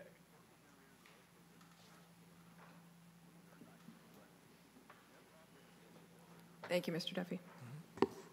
Councilmember Hussey. Just one more quick comment for the residents. Um, Like the mayor said, this is a concept, this is the beginning of the plans. And get involved. Get involved with planning commission meetings, get involved with your voice. You know, I was part of the, the residents that help with the high school and stuff, build that. So your voice matters. Uh, The Greens group, they said they'll work with the residents. So, you know, get involved. Tell about your concerns with the Reed Street, you know, ask if about the the multifamilies that they could not put windows on one side. So that's up to you guys to get involved with the planning commission so it gets back to us. But, you know, let your voice be heard on that. But if the mayor said this concept, we're beginning stage of, uh, of the plan. So that's just all I had to say, Mayor. Thank you. All right, how would you like to move forward with this item then? Madam Mayor, I make a recommendation to approve the concept plans proposed by the Greens Group for development of 22317, 22293, and 22273 Barton Road, subject to in accordance with the executed agreement for the purchase and sale of real property and joint escrow instructions between the City of Grand Terrace and the Greens Group, or provide other directions regarding the proposed concept plans, and uh, direct city manager to issue a written approval notice of the selected concept plans to the Greens Group. Second? All right, so you're motioning for any of the three concepts? All three. Okay. And, okay, so motion by Councilmember Allen, second by Mayor Pro Tem Wilson. Please vote. Motion passes with council members Allen and Hussey voting yes, Mayor Pro Tem Wilson voting yes, and Mayor McNaboe voting yes. All right, thank you all for your discussion. Thank you to all of you who came out tonight. You know who the developers are. They promised to work with the, the neighbors, and I, I will take them at their word that they will do that. Thank you very much. We'll move on to item nine, which is award of contract for signal modification. Project at Preston Street and Barton Road in an amount not to exceed $82,000. Um, Mr. City Attorney, I believe we looked at this particular project once before, and I am beyond 500 feet. Shall I stay or shall I go? Um, I, I, I think we, we determined you could stay, All right, if I recall. okay. Yep. That's- For the record, I live on Preston Street, just beyond 500 feet from this particular project. Yes. All right. So we have before us Public Works Director Alan French. Thank you, Madam Mayor. Good evening, uh, council members. Here to present this item of the contract for the signal modification for Preston and Barton Road. This item supports staff, I'm sorry, the staff item supports goal, the 2030 goal number two, to maintain public safety by investing in critical improvements to the infrastructure, and it's on the department's priority project list. This project is to upgrade the traffic signal at Preston and Barton with a five-head left turn signal indicator that will be added to increase the safety for the turning movements. Um, In the slide, that's a replica of a five-head uh, indicator. Um, This will be installed at, uh, on Barton Road section for the left turn onto Preston. The project also replaces the controller uh, that was damaged earlier this year uh, with, a- in an accident that happened at the intersection. Funding for the project uh, will come from the Spring Mountain Ranch mitigation uh, fund balance and also uh, the reimbursement that we received from the accident uh, to replace the controller cabinet on Preston. Uh, The traffic study for the Spring Mountain Ranch project determined that about 5% of traffic would be going through that intersection. So we would utilize up to uh, approximately 5% of the fund balance from that mitigation to pay for the project, eh, as well as the um, reimbursement that we received from the uh, traffic accident.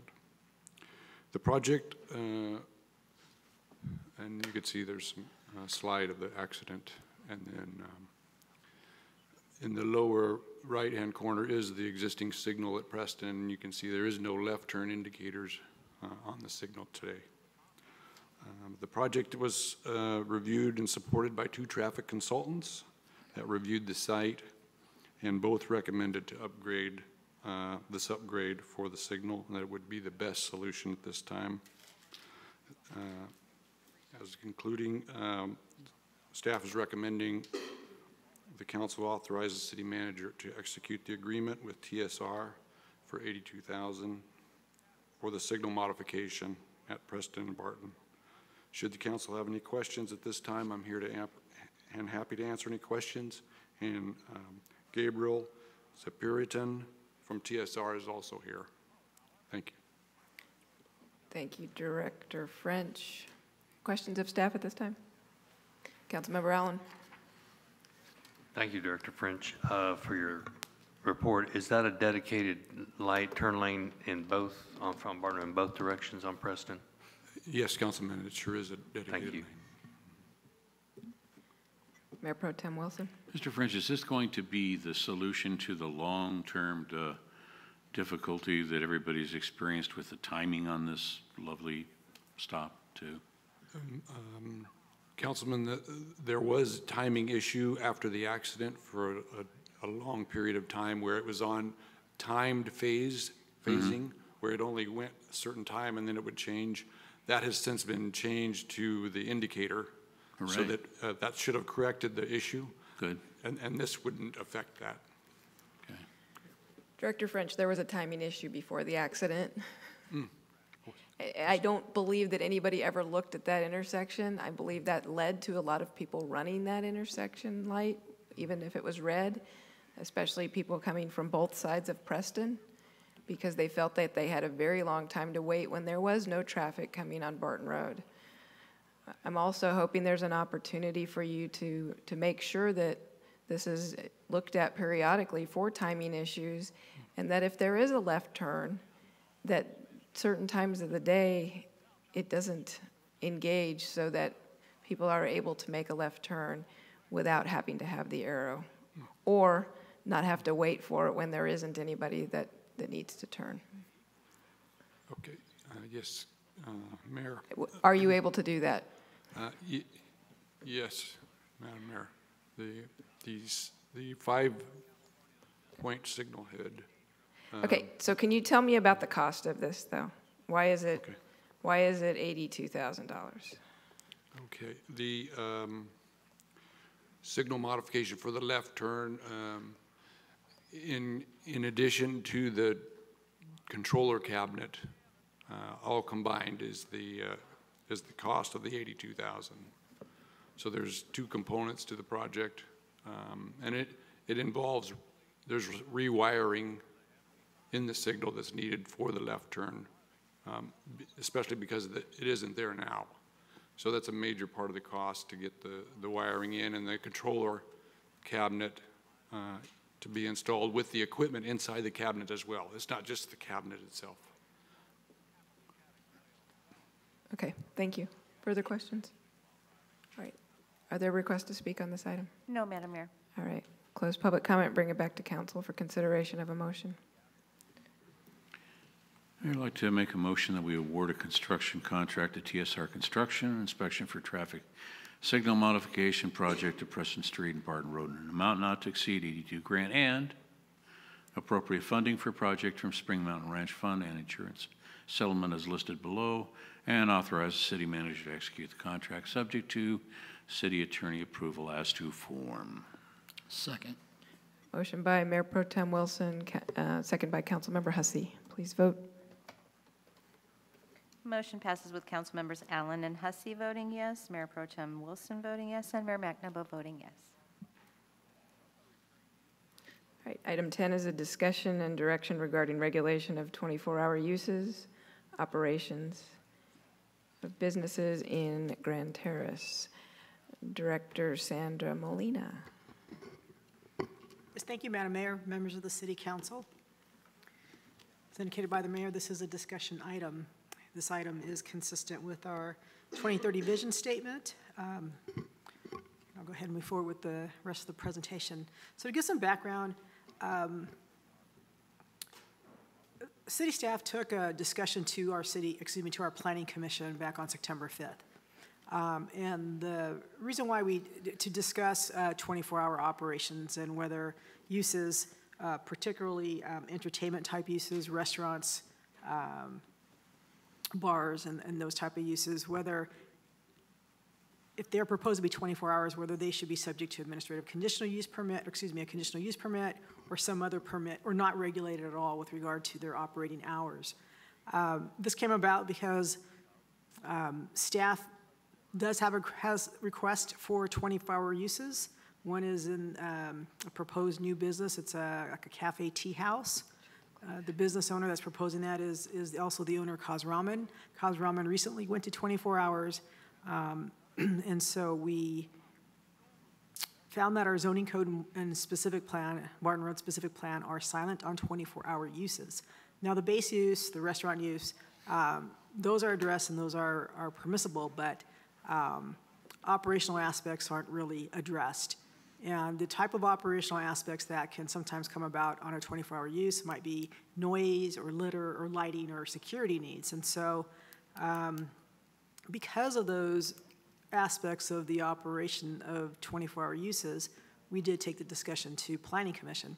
And we asked the Planning Commission to look at or consider uh, the three items up on the slide here. One is to, to- first, of course, to consider the, the item, but to uh, either recommend that 24-hour uses, such as restaurants, bars, fast food, uh, other entertainment uses, are subject to a conditional use permit, and then direct staff forward that recommendation to the city council. Um, They could also find that, or recommend that 24-hour uses don't require a conditional use permit, and we would again direct that to the council. And then ultimately, the, the other option was for the planning commission to say, you know, this is a big, broad policy issue, um, direct to the council first. The, the planning commission, in having this discussion and taking um, public comment, so the slide's not working. Um, They um, had residents express concern about 24-hour uses with regard to littering and possibly, um, you know, traffic, but also the business owner of Kaz Ramen, Mr. Cor- Cormita, he also spoke about um, having a 24-hour use and, and the customer that he has, a lot of these customers come from maybe Loma Linda, um, the medical use, and so they're looking for a place to go during those um, non-traditional operating hours. And then also, a lot of his business, his patrons are const- construction folks that are working on uh, our nearby freeways, and they're doing, you know, 24 hours or that uh, graveyard shift, so to speak. And so they also um, uh, are a big component of his business. And so um, the commission also considered that discussion. Ultimately, what the planning commission did was recommend that um, 24-hour uses should be subject to a conditional use permit. And I apologize, that's hard to read, but the commission was very cognizant of the cost of a standard conditional use permit, and they recommended an administrative one. And so today, we're, we're bringing to the council uh, commission's recommendation, but the city council also, again, as part of this discussion, can, um, in their consideration, determine that the CUP is not appropriate for 24-hour uses, um, or they can agree with the planning commission and direct the staff to make the necessary changes. What's in the staff report for the city council was um, subsequent to the planning commission's discussion, there was a, uh, another option that was proposed, and that is a business permit requirement for 24-hour uses. And so that does not become a zoning um, application, but it's more use application. And our municipal code does have business permits for uh, certain type of uses, um, such as for billiards, and that was an example that was put in the staff report. Um, Later this evening, the council is going to consider a, a uh, secondhand dealer permit or junk, junk dealer permit. That's under Title V, that's a business permit as well. So that's also an option for the council to consider in lieu of a conditional use permit. And in this, uh, I, this is in the staff report, but this is just the table. Uh, The, the biggest difference between the two is, again, one's, one's based on zoning, one isn't. The review authority for a CUP is the planning commission. For business permit, that comes to city council. It's not, not part of the commission's purview. Um, And they're very similar in that, that those permits can be reviewed um, when it's determined that perhaps they're not operating in conformance with those permits. Um, And they can both be subject, well, the CUP is subject to revocation if it gets to that point. A business permit can also be written that way, subject to revocation. And then after that, um, should the business continue to operate, then that would be a a code case. And so, although these are, these are very similar, um, one is a land use type of permit and the other one is not. And so, um, with that, we would ask that the city council discuss this item, whether 24-hour uses should be regulated, um, and consider these different alternatives or others, and direct us accordingly. Thank you. Thank you, Director Molina. Are there questions of staff at this time? Mayor Pro Tem Wilson. Director Molina, could you uh, describe for us how an administrative conditional use permit process would work? Yes, Mayor Pro Tem. So the- the uh, administrative conditional use permit is a provision in our zoning code that if a business is going to occupy a space that's 2,000 square feet or less, then it qualifies for administrative conditional use permit. If the business occupies a site that's greater than 2,000 square feet or 2,000 and greater, then it's the standard conditional use permit. Um, Most of the businesses that we see are occupying spaces less than 2,000 square feet.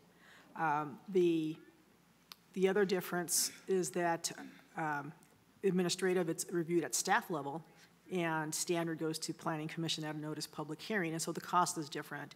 Uh, Standard conditional use permit, subject to hearing, is a $2,400 application, whereas a administrative CUP is a $620 application. Do you think it would be possible for us to, or would you recommend, in this instance, for a 24-hour use to be added to the 2,000 square foot ceiling on the uh, administrative uh, CUP and see that that would work in place of a full-on CUP?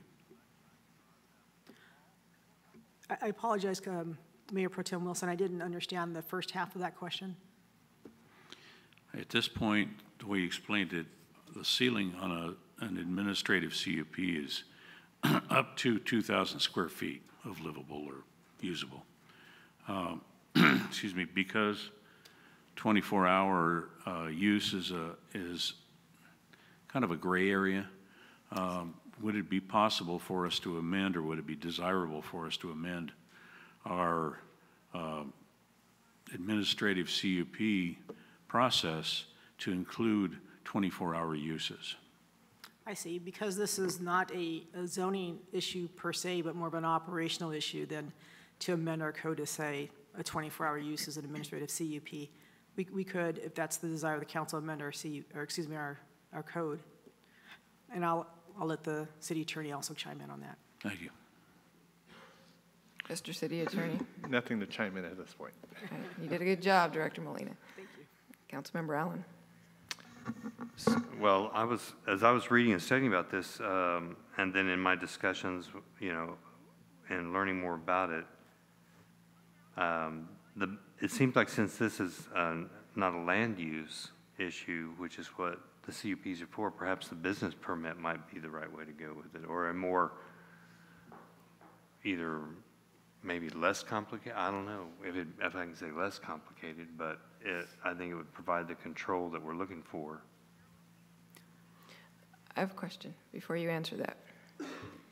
Because you can, you can, you can answer that as part of this answer. When we have a gas station come into town, is there a different kind of requirement with their business permit than there is with other businesses that come in? With regard to the 24-hour aspect, again, our, our codes don't address the operational aspect of a gas station or another use being 24 hours. Um, Gas stations fall back under the base zoning. Okay, but, but our gas stations are 24 hours. We do, our, our gas stations here in town currently are 24 hours. And so we, do we ask them when they come in, these gas stations? I know they've been there for a while. Do we ask if they're going to operate 24 hours? Because there are places where gas stations do not operate 24 hours. Um, You, you are correct, Mayor, that, that these stations do predate, um, but we don't, we wouldn't, we may ask, for instance, we've asked our fast food uses whether they operate 24 hours. For us, the, um, the, the difference between a, a gas station is typically they, because they're 24 hours if they are, they're already addressing those security concerns. Because gas stations, you have a lot of drive-through traffic, so they're addressing the security concerns. Um, They have lighting already in place, they're taking care of um, those type of issues where perhaps a, a restaurant or a bar or something like that they may have security issues, but they may not be addressing them unless they're, as part of the CUP or business permit, asked to address them. So that, that would be uh, one difference. Well, that is, a- that, that is a specific concern, Mayor, what she was just mentioning is, because I know that at, down at, uh, Kaz Ramen at the parking lot at night, it's, it's not lit, but he's open. And, and that has been mentioned, uh, to me personally about that. So, uh, lighting and security and that sort of thing with twenty-four hour businesses, when the business owner is not the property owner, you know, and trying to, you know, make sure that how is, is, is that going to be addressed? And I also would like to know how much a business permit costs as opposed to the, I know the admin CUP 620 or 640, I think, no, 620. A bus- business permit based on the, is it, the costs vary on those? So um, I'll, let me answer that, Councilmember Allen, in response to your other question as well. So um, from a, from a staff perspective to, from, from a, how we implement the, the council's desire, for instance, if the council says it should be an administrative conditional use permit, then that's a very simple amendment to our code. If the council directs staff to um, establish a business permit process, then that's a different change. We, we still, both times, we, we do amend our code, but we have to create the standards for the business permit for a 24-hour use. We don't have any right now. So we would, so the level of effort, the effort of work is a little bit more, but we're happy to do whatever the council desires. Thank you. I'm sorry, and let me just follow up, and there's no fee established just yet for a business permit. Okay, thank you very much. Mr. Duffy, you had a comment? Yes, Mayor, just a point of clarification that I think the council should probably, uh, the city attorney should probably weigh in here. As we talk about the 24-hour um, use, I, I think through my conversation with the city attorney, he, he referenced that you would be establishing when, when businesses can, can open and operate within the city, open and close. Because if you say 24-hour regulations, if someone opens 23, 20, 24, I mean 20, 22, uh, that's, that's not really the issue here. The issue is, uh, and I think that the, from my conversation with the city attorney is that, that how do you enforce a 24-hour operation? I think that should be a part of your, your discussion to see how that's, how that, how that plays out. What measures would the count, if the council approves this, what measures would they put in place to, to regulate the 24-hour businesses? And that is, how do you stop them from operating 24 hours by establishing a time cutoff when businesses can operate in the city? Councilmember Allen? I just want to make sure I understand that. So rather than saying, than stipulating 24-hour business, we would have to stipulate a, a time that a business, like, a- like midnight, 2 AM? Is that what you're saying? I'll let the city attorney wait. Mr. City Attorney?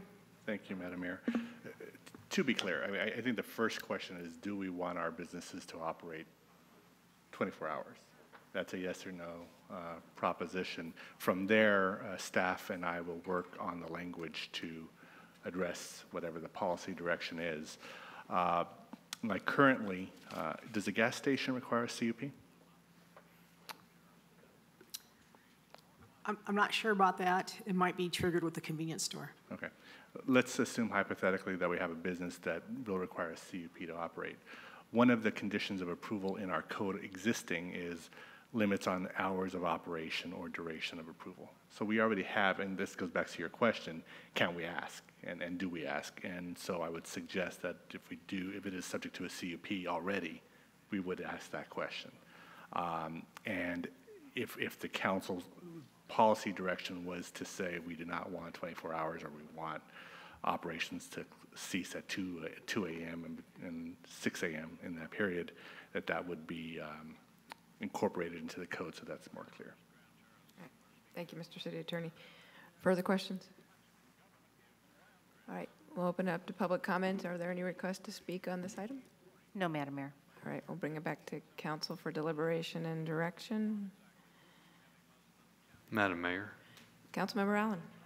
You know, I don't want to, I'm pretty hesitant to try to restrict any business on their efforts to make, make money. make 'em, you know. A- to- As am I. you know, and for obvious re, but um, I also understand that the concerns that residents and surrounding uh, area might have. Um, I just,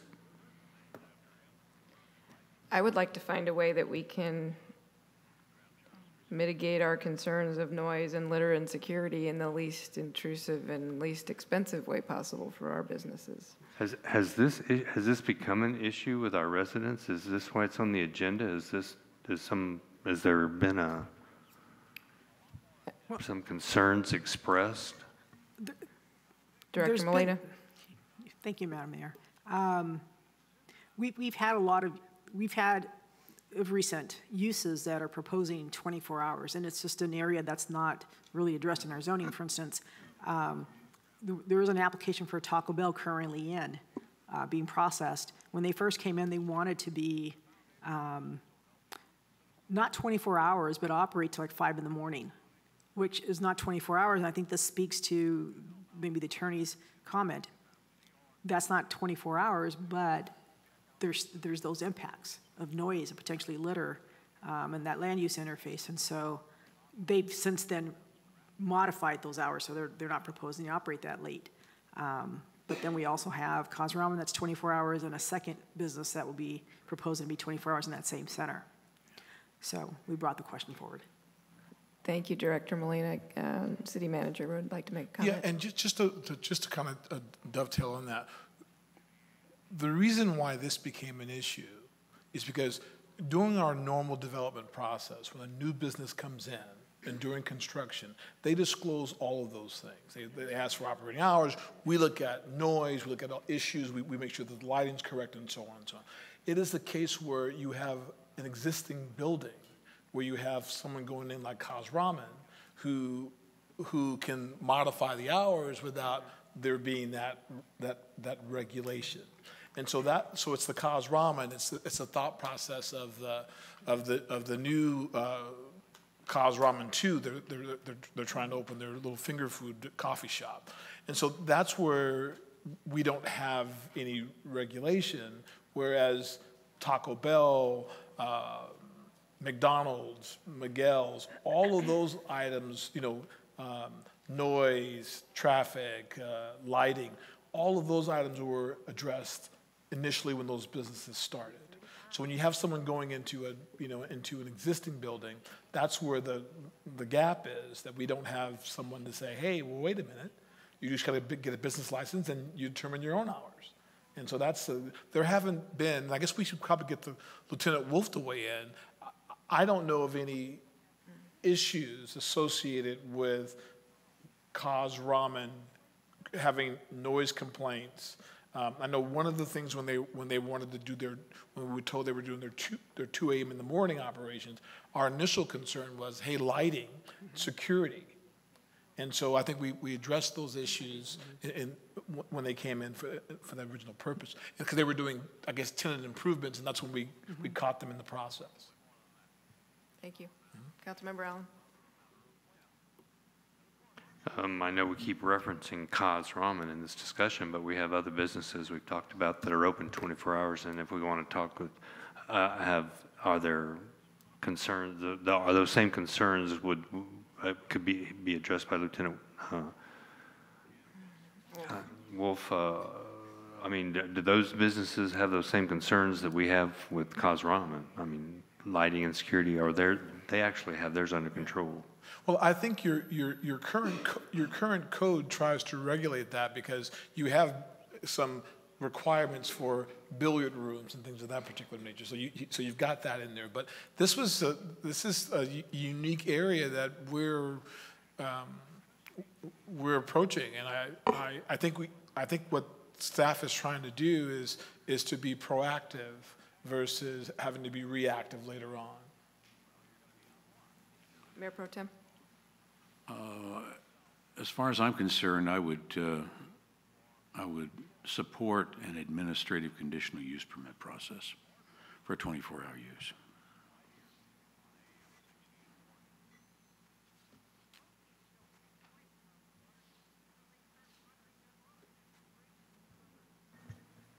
Well, would, it- Councilmember Allen?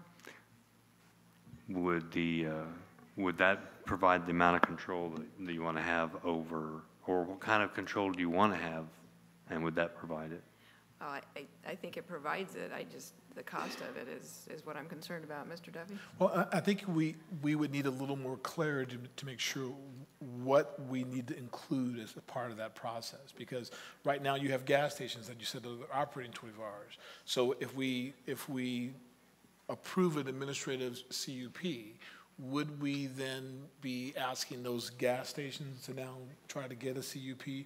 Or are we limiting the focus, uh, uh, uh, Mayor Pro Tem? I think it'd only be fair to grandfather those uses in. Madam Mayor, if I may.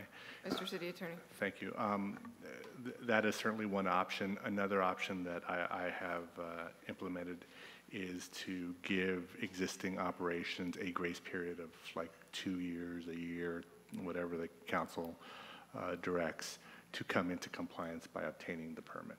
Uh, So it's not immediate, uh, but it does give them time to, uh, to bring their operations to current code. And so would we look back at the gas station use and see if they already have a CUP that addresses the issue and then it wouldn't be required? Possibly, yes. I mean, I leave that to the director. Madam Mayor, we, we could do that.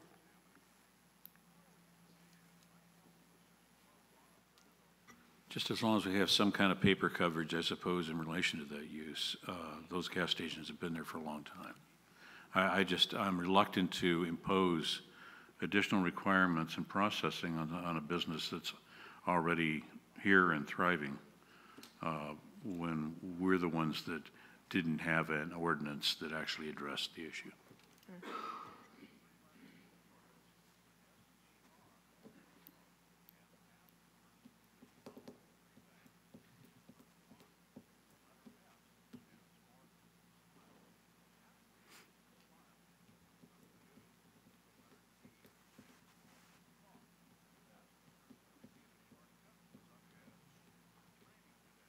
Mr. Duffy? Would you like to share your comments? Well, yes, Mayor, I was just, I was asking this, the city attorney, would it be uh, acceptable if, as part of the council's recommendation, uh, that, that they would say that, that you require an administrative CUP for, for any business that doesn't have an existing business license in the city? That doesn't have an existing business license? Right. So if a new business came in and wanted to operate 24 hours, they would be subject to the administrative CUP. Mr. City Attorney? I- Same concept, I don't know if I, I tie it to the business license, I just say basically any, any business existing as of the date of the ordinance, uh, effective date shall be grandfathered in, or however you want to say it, if that's the direction of the council. Any business that's currently operating 24 hours. That's correct. Okay. And how will you measure that? 24 hours? We'll have to determine that, yes. All right. All right, so do you have direction? Do you need to come back to us with this? I would recommend a, a motion, uh, so it's clear for the record as to what the direction is to the staff. All right. Mayor Pro Tem? See how we word this, uh, word this. Um, I'd like to make a motion that uh, uh, the city attorney draft uh, language uh, to enable a administrative conditional use permit uh, process uh, with regard to the 24-hour uses and operations in Grand Terrace, and a a caveat that addresses the issue of, of prior use and what process might be pursued, not including um, a complete uh, new process.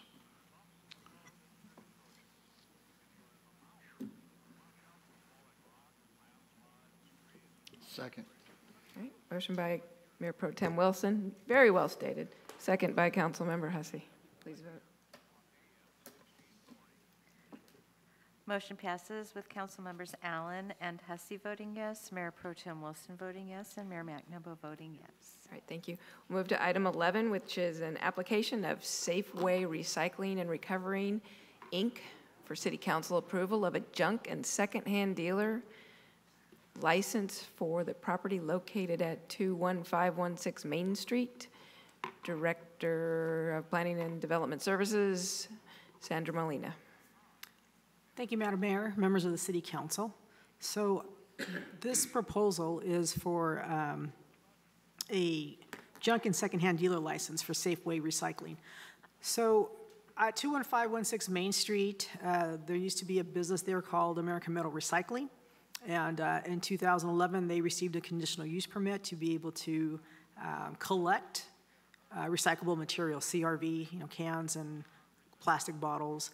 Um, They also took in metal products and some household items such as uh, bed frame, well, yeah, the, uh, the metal bed frames. They would take in um, refrigerators. But um, our business uh, permit requirements for any uh, business that takes in scrap metals, because they also took in uh, scrap metals, they required this business permit. And so uh, American Metal Recycling recently vacated the premises, and Safeway um, Recycling and Recovery is proposing to occupy that space. And so part of that process, um, they're able to reoccupy that space, operating in the same manner as American Metal Recycling under that conditional use permit, but they are required to get their own business permit through the city council. Um, and chapter 5.44 regulates this type of permit. This uh, application was forwarded to our building and safety department, the sheriff's department, um, and the planning department reviewed it to uh, get recommendations, and all three departments are recommending that the council issue this business permit.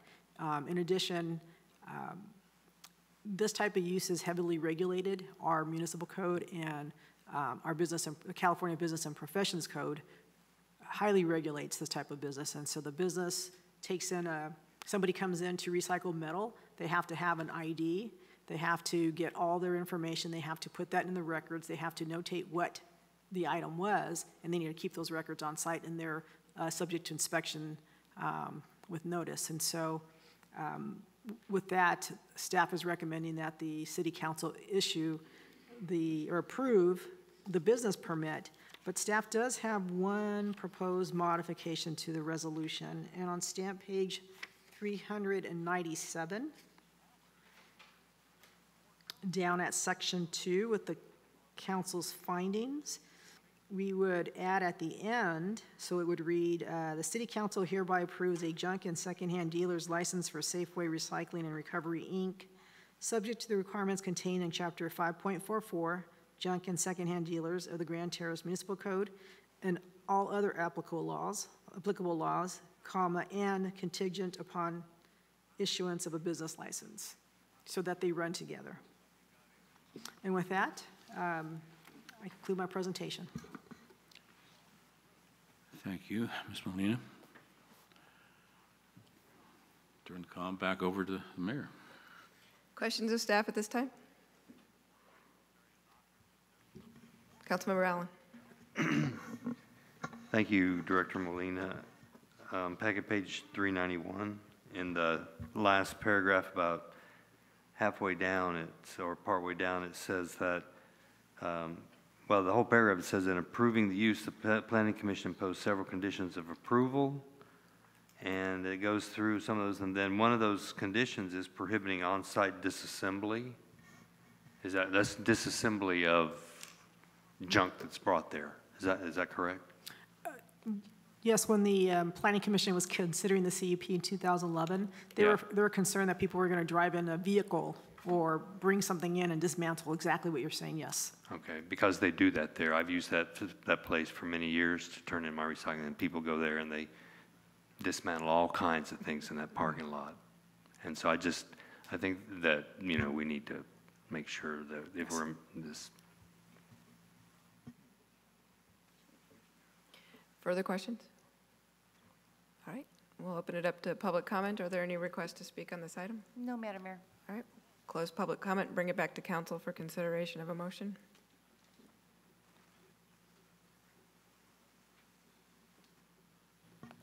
So we're this is for a bus, uh, business license, right? Is that correct, Director Molina? The- Um, the- It's a business permit. Business permit. Okay, Madam Mayor, then um, I recommend that we adopt a resolution of the City Council of the City of Grand Terrace approving a junk and secondhand dealer's license for Safeway Recycling and Recovery. Second. Motion by Councilmember Allen, second by Mayor Pro Tem Wilson. Please vote. Motion passes with council members Allen and Hussey voting yes, Mayor Pro Tem Wilson voting yes, and Mayor McNaboe voting yes. Thank you. So we'll move on to item 12, which is professional services agreement between the City of Grand Terrace and Interwest Consulting Group to provide management services to planning and development services and Public Works Department in the amount not to exceed $147,000. Director Molina. Yes, Madam Mayor, thank you, members of the City Council. As indicated by the mayor, this is a proposal to enter into a contract, a new contract with um, Interwest Consulting Group for management services to planning and, and public works. So in 2017, the, the city council did approve um, an amendment to an existing contract with Interwest. So the existing contract was for, um, or is for public works inspection and construction management. And so we took to the city council, city council approved a modification to incorporate um, deputy building official and plans examiner um, functions. And the contract limited the services to 16 hours per week. Um, The plan checking component of the um, service would be offset by developer deposits, and so there was an offset with re- regard to the hourly rate. So we've, we've been um, operating under that contract since 2017. Um, And I would add that the city had budgeted a deputy building, excuse me, a building official, but because we were having difficulty um, hiring a person that would work part-time, um, we ended up going to consulting services. But since then, um, we're finding that um, we have a greater need in um, planning and in public works for a, a consultant that would provide management-level um, services to the directors and also to our line, frontline staff. Um, There's a bit of, um, there was a need for that middle, middle manager type of, of, of consulting services. And so this new contract would expand the scope of services to um, provide that level of service, not only to, to planning and development services, but also to public works. And so the expanded scope would include, um, again, management services support to those different departments and divisions. Um, The um, person would also provide direct customer service at the counter in the field. Um, And I would also, as indicated in the staff report, we've, um, under the auspices of the contract, we have brought in a consultant named Chaz Ferguson, whose resume is in the staff report. And he's been providing this 40-hour uh, service, and he's been going out to the field, he's been helping people at the counter, he's been um, helping with uh, code enforcement staff and animal control staff, and also with some um, public works issues that have come, um, have come up. And so um, part of the work would be, again, the building official, the plans examiner, also some inspections that he's gone out and done. Um, And then there would be um, the hourly offset, again, by the developer deposits. So staff would recommend that uh, the city council award the agreement to Interwest to provide the management services to planning, development services, and public works not to exceed $147,000, and authorize the mayor to execute the agreement, subject to city attorney approval as to form with with regard to the contract. Thank you, Director Molina. Are there questions of staff at this time? Councilmember Allen. Director Molina on packet page 417, under additional services. Um, There's a sentence partway down, that says, "Any increase in compensation of up to 10% of the contract sum, or $25,000, whichever is less, or in the time to perform of up to 180 days, may be approved by the contract officer." $25,000, that's 20% of the contract, isn't it? About 20% of the, is that the correct amount? And, and the, the, and the contracting officer can approve that? Um, This, this particular section is written, so in addition to that contract amount not to exceed, but um, was the city attorney going to comment on this particular section? Mr. City Attorney? Sure. What this section does is just provide some flexibility if some special project comes up that the contract officer can approve something. In this case, it's, uh, it's up to 10% of the contract value or 25,000, whichever is less. In this case, the contract value is 147,000. 10% of that is 14,700. So that would be the contract officer's cap uh, should additional services be required. Or, or 25,000, but that's irrelevant. That's Because irrelevant because uh, it's saying whichever is less. And the contracting officer would be the city manager at this time? Uh, I believe so, yes. Further questions?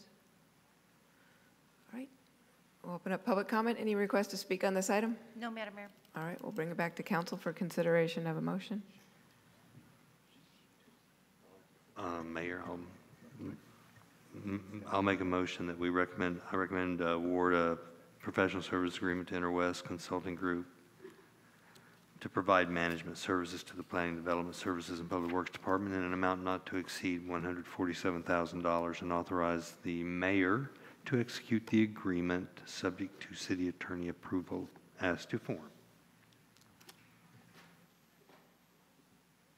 Second.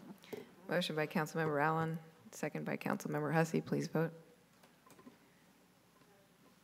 Motion passes with council members Allen and Hussey voting yes, Mayor Pro Tem Wilson voting yes, and Mayor McNaboe voting yes. All right, thank you. So our request for future agenda items will be moved to another date. City Manager Communications?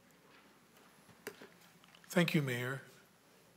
Just wanted to remind the mayor and council and the community about the trunk or treat event that's going to be occurring next Thursday, October 31st, from 6 to 9 p.m. There'll be costume contest, uh, and there'll be costume judging from uh, ages 0 to 5, 6 to 10, 11 to 15, and 16 plus, as well as dog costume judging. And it's a lot of fun. We had a lot of fun last year, and it's a great way for uh, the community to come out and, and have a good time for uh, trick or treat, trunk or treat. All right. Also, we have the, the annual country fair coming up on November the Saturday, November the second. So it's going to be a fun-filled weekend starting on Thursday and on Saturday, culminating with the the, the um, country fair put on by the Historical Cultural Committee. It's from 9 a.m. to 3 p.m. at City Hall. We look forward to seeing everybody there. Also, then on November the 11th, we have our annual uh, Veterans Day at Veterans Freedom Park event. On November the 11th, uh, we, we encourage everyone to come out at, at the Veterans Freedom Park. And then finally, Mayor, my uh, final presentation is uh, you're going to help me out with. I'm not very happy about this, but I do wish uh, Sandra Molina a really great uh, warm wishes and good luck in her, her new endeavor. She'll be leaving us. Um, this is her last week of employment with us, and she'll be going to Cathedral City to um, do some of the great things she's done here. And so we have a plaque, and we'd like the mayor and the council to, to uh, read the plaque, and then we're going to take a photo of the Grand Terrace family so we can treasure that as we miss Miss Molina. This is presented to Sandra Molina, Planning and Development Services Director, for your sincere commitment and devotion, in grateful appreciation for your years of outstanding service and dedication, for your leadership and hard work, your attention to detail and exemplary, exemplary work ethic has aided the city to a level that has prospered. For your unselfish commitment and tireless cooperation, City of Grand Terrace thank you for all your contributions towards enhancing the quality of life of the residents of this community, dated the 22nd of October, 2019. And I echo the city manager when I say I'm not happy about this, but I do wish you the best, and I know that, that the city of, that you will be working in is very lucky to have you.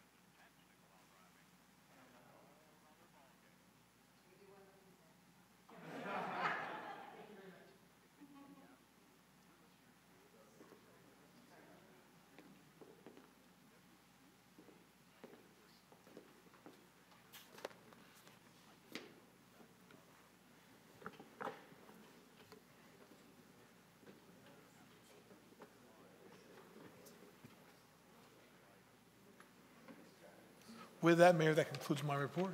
Thank you, Mr. Duffy. All right, we, w- we do have a closed session tonight, so we will be recessing to closed session. And for those of you that are watching, we'll let you know that our next regular city council meeting will be held on Tuesday, November 12th, 2019, at 6 PM. Any requests to have an item placed on future agenda must be made in writing and submitted to the city clerk's office. The request will be processed in accordance with council procedures. Thank you to everybody who came out and spoke tonight and shared their opinions and concerns with us. And at this time, we will recess to close session, conference with legal counsel, anticipated litigation, significant exposure to litigation pursuant to Government Code Section 54956.9B. One potential case. At this time, we are in recess.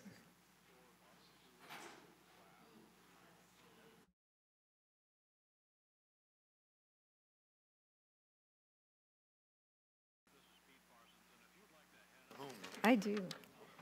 All right, we'll reconvene to open session. Council met in closed session, conference with legal counsel, anticipated litigation, significant exposure to litigation pursuant to Government Code Section 54956.9B, one potential case. No reportable actions at this time. Direction was given to staff. So with that, we will adjourn to our next regular city council meeting to be held on Tuesday, November 12th.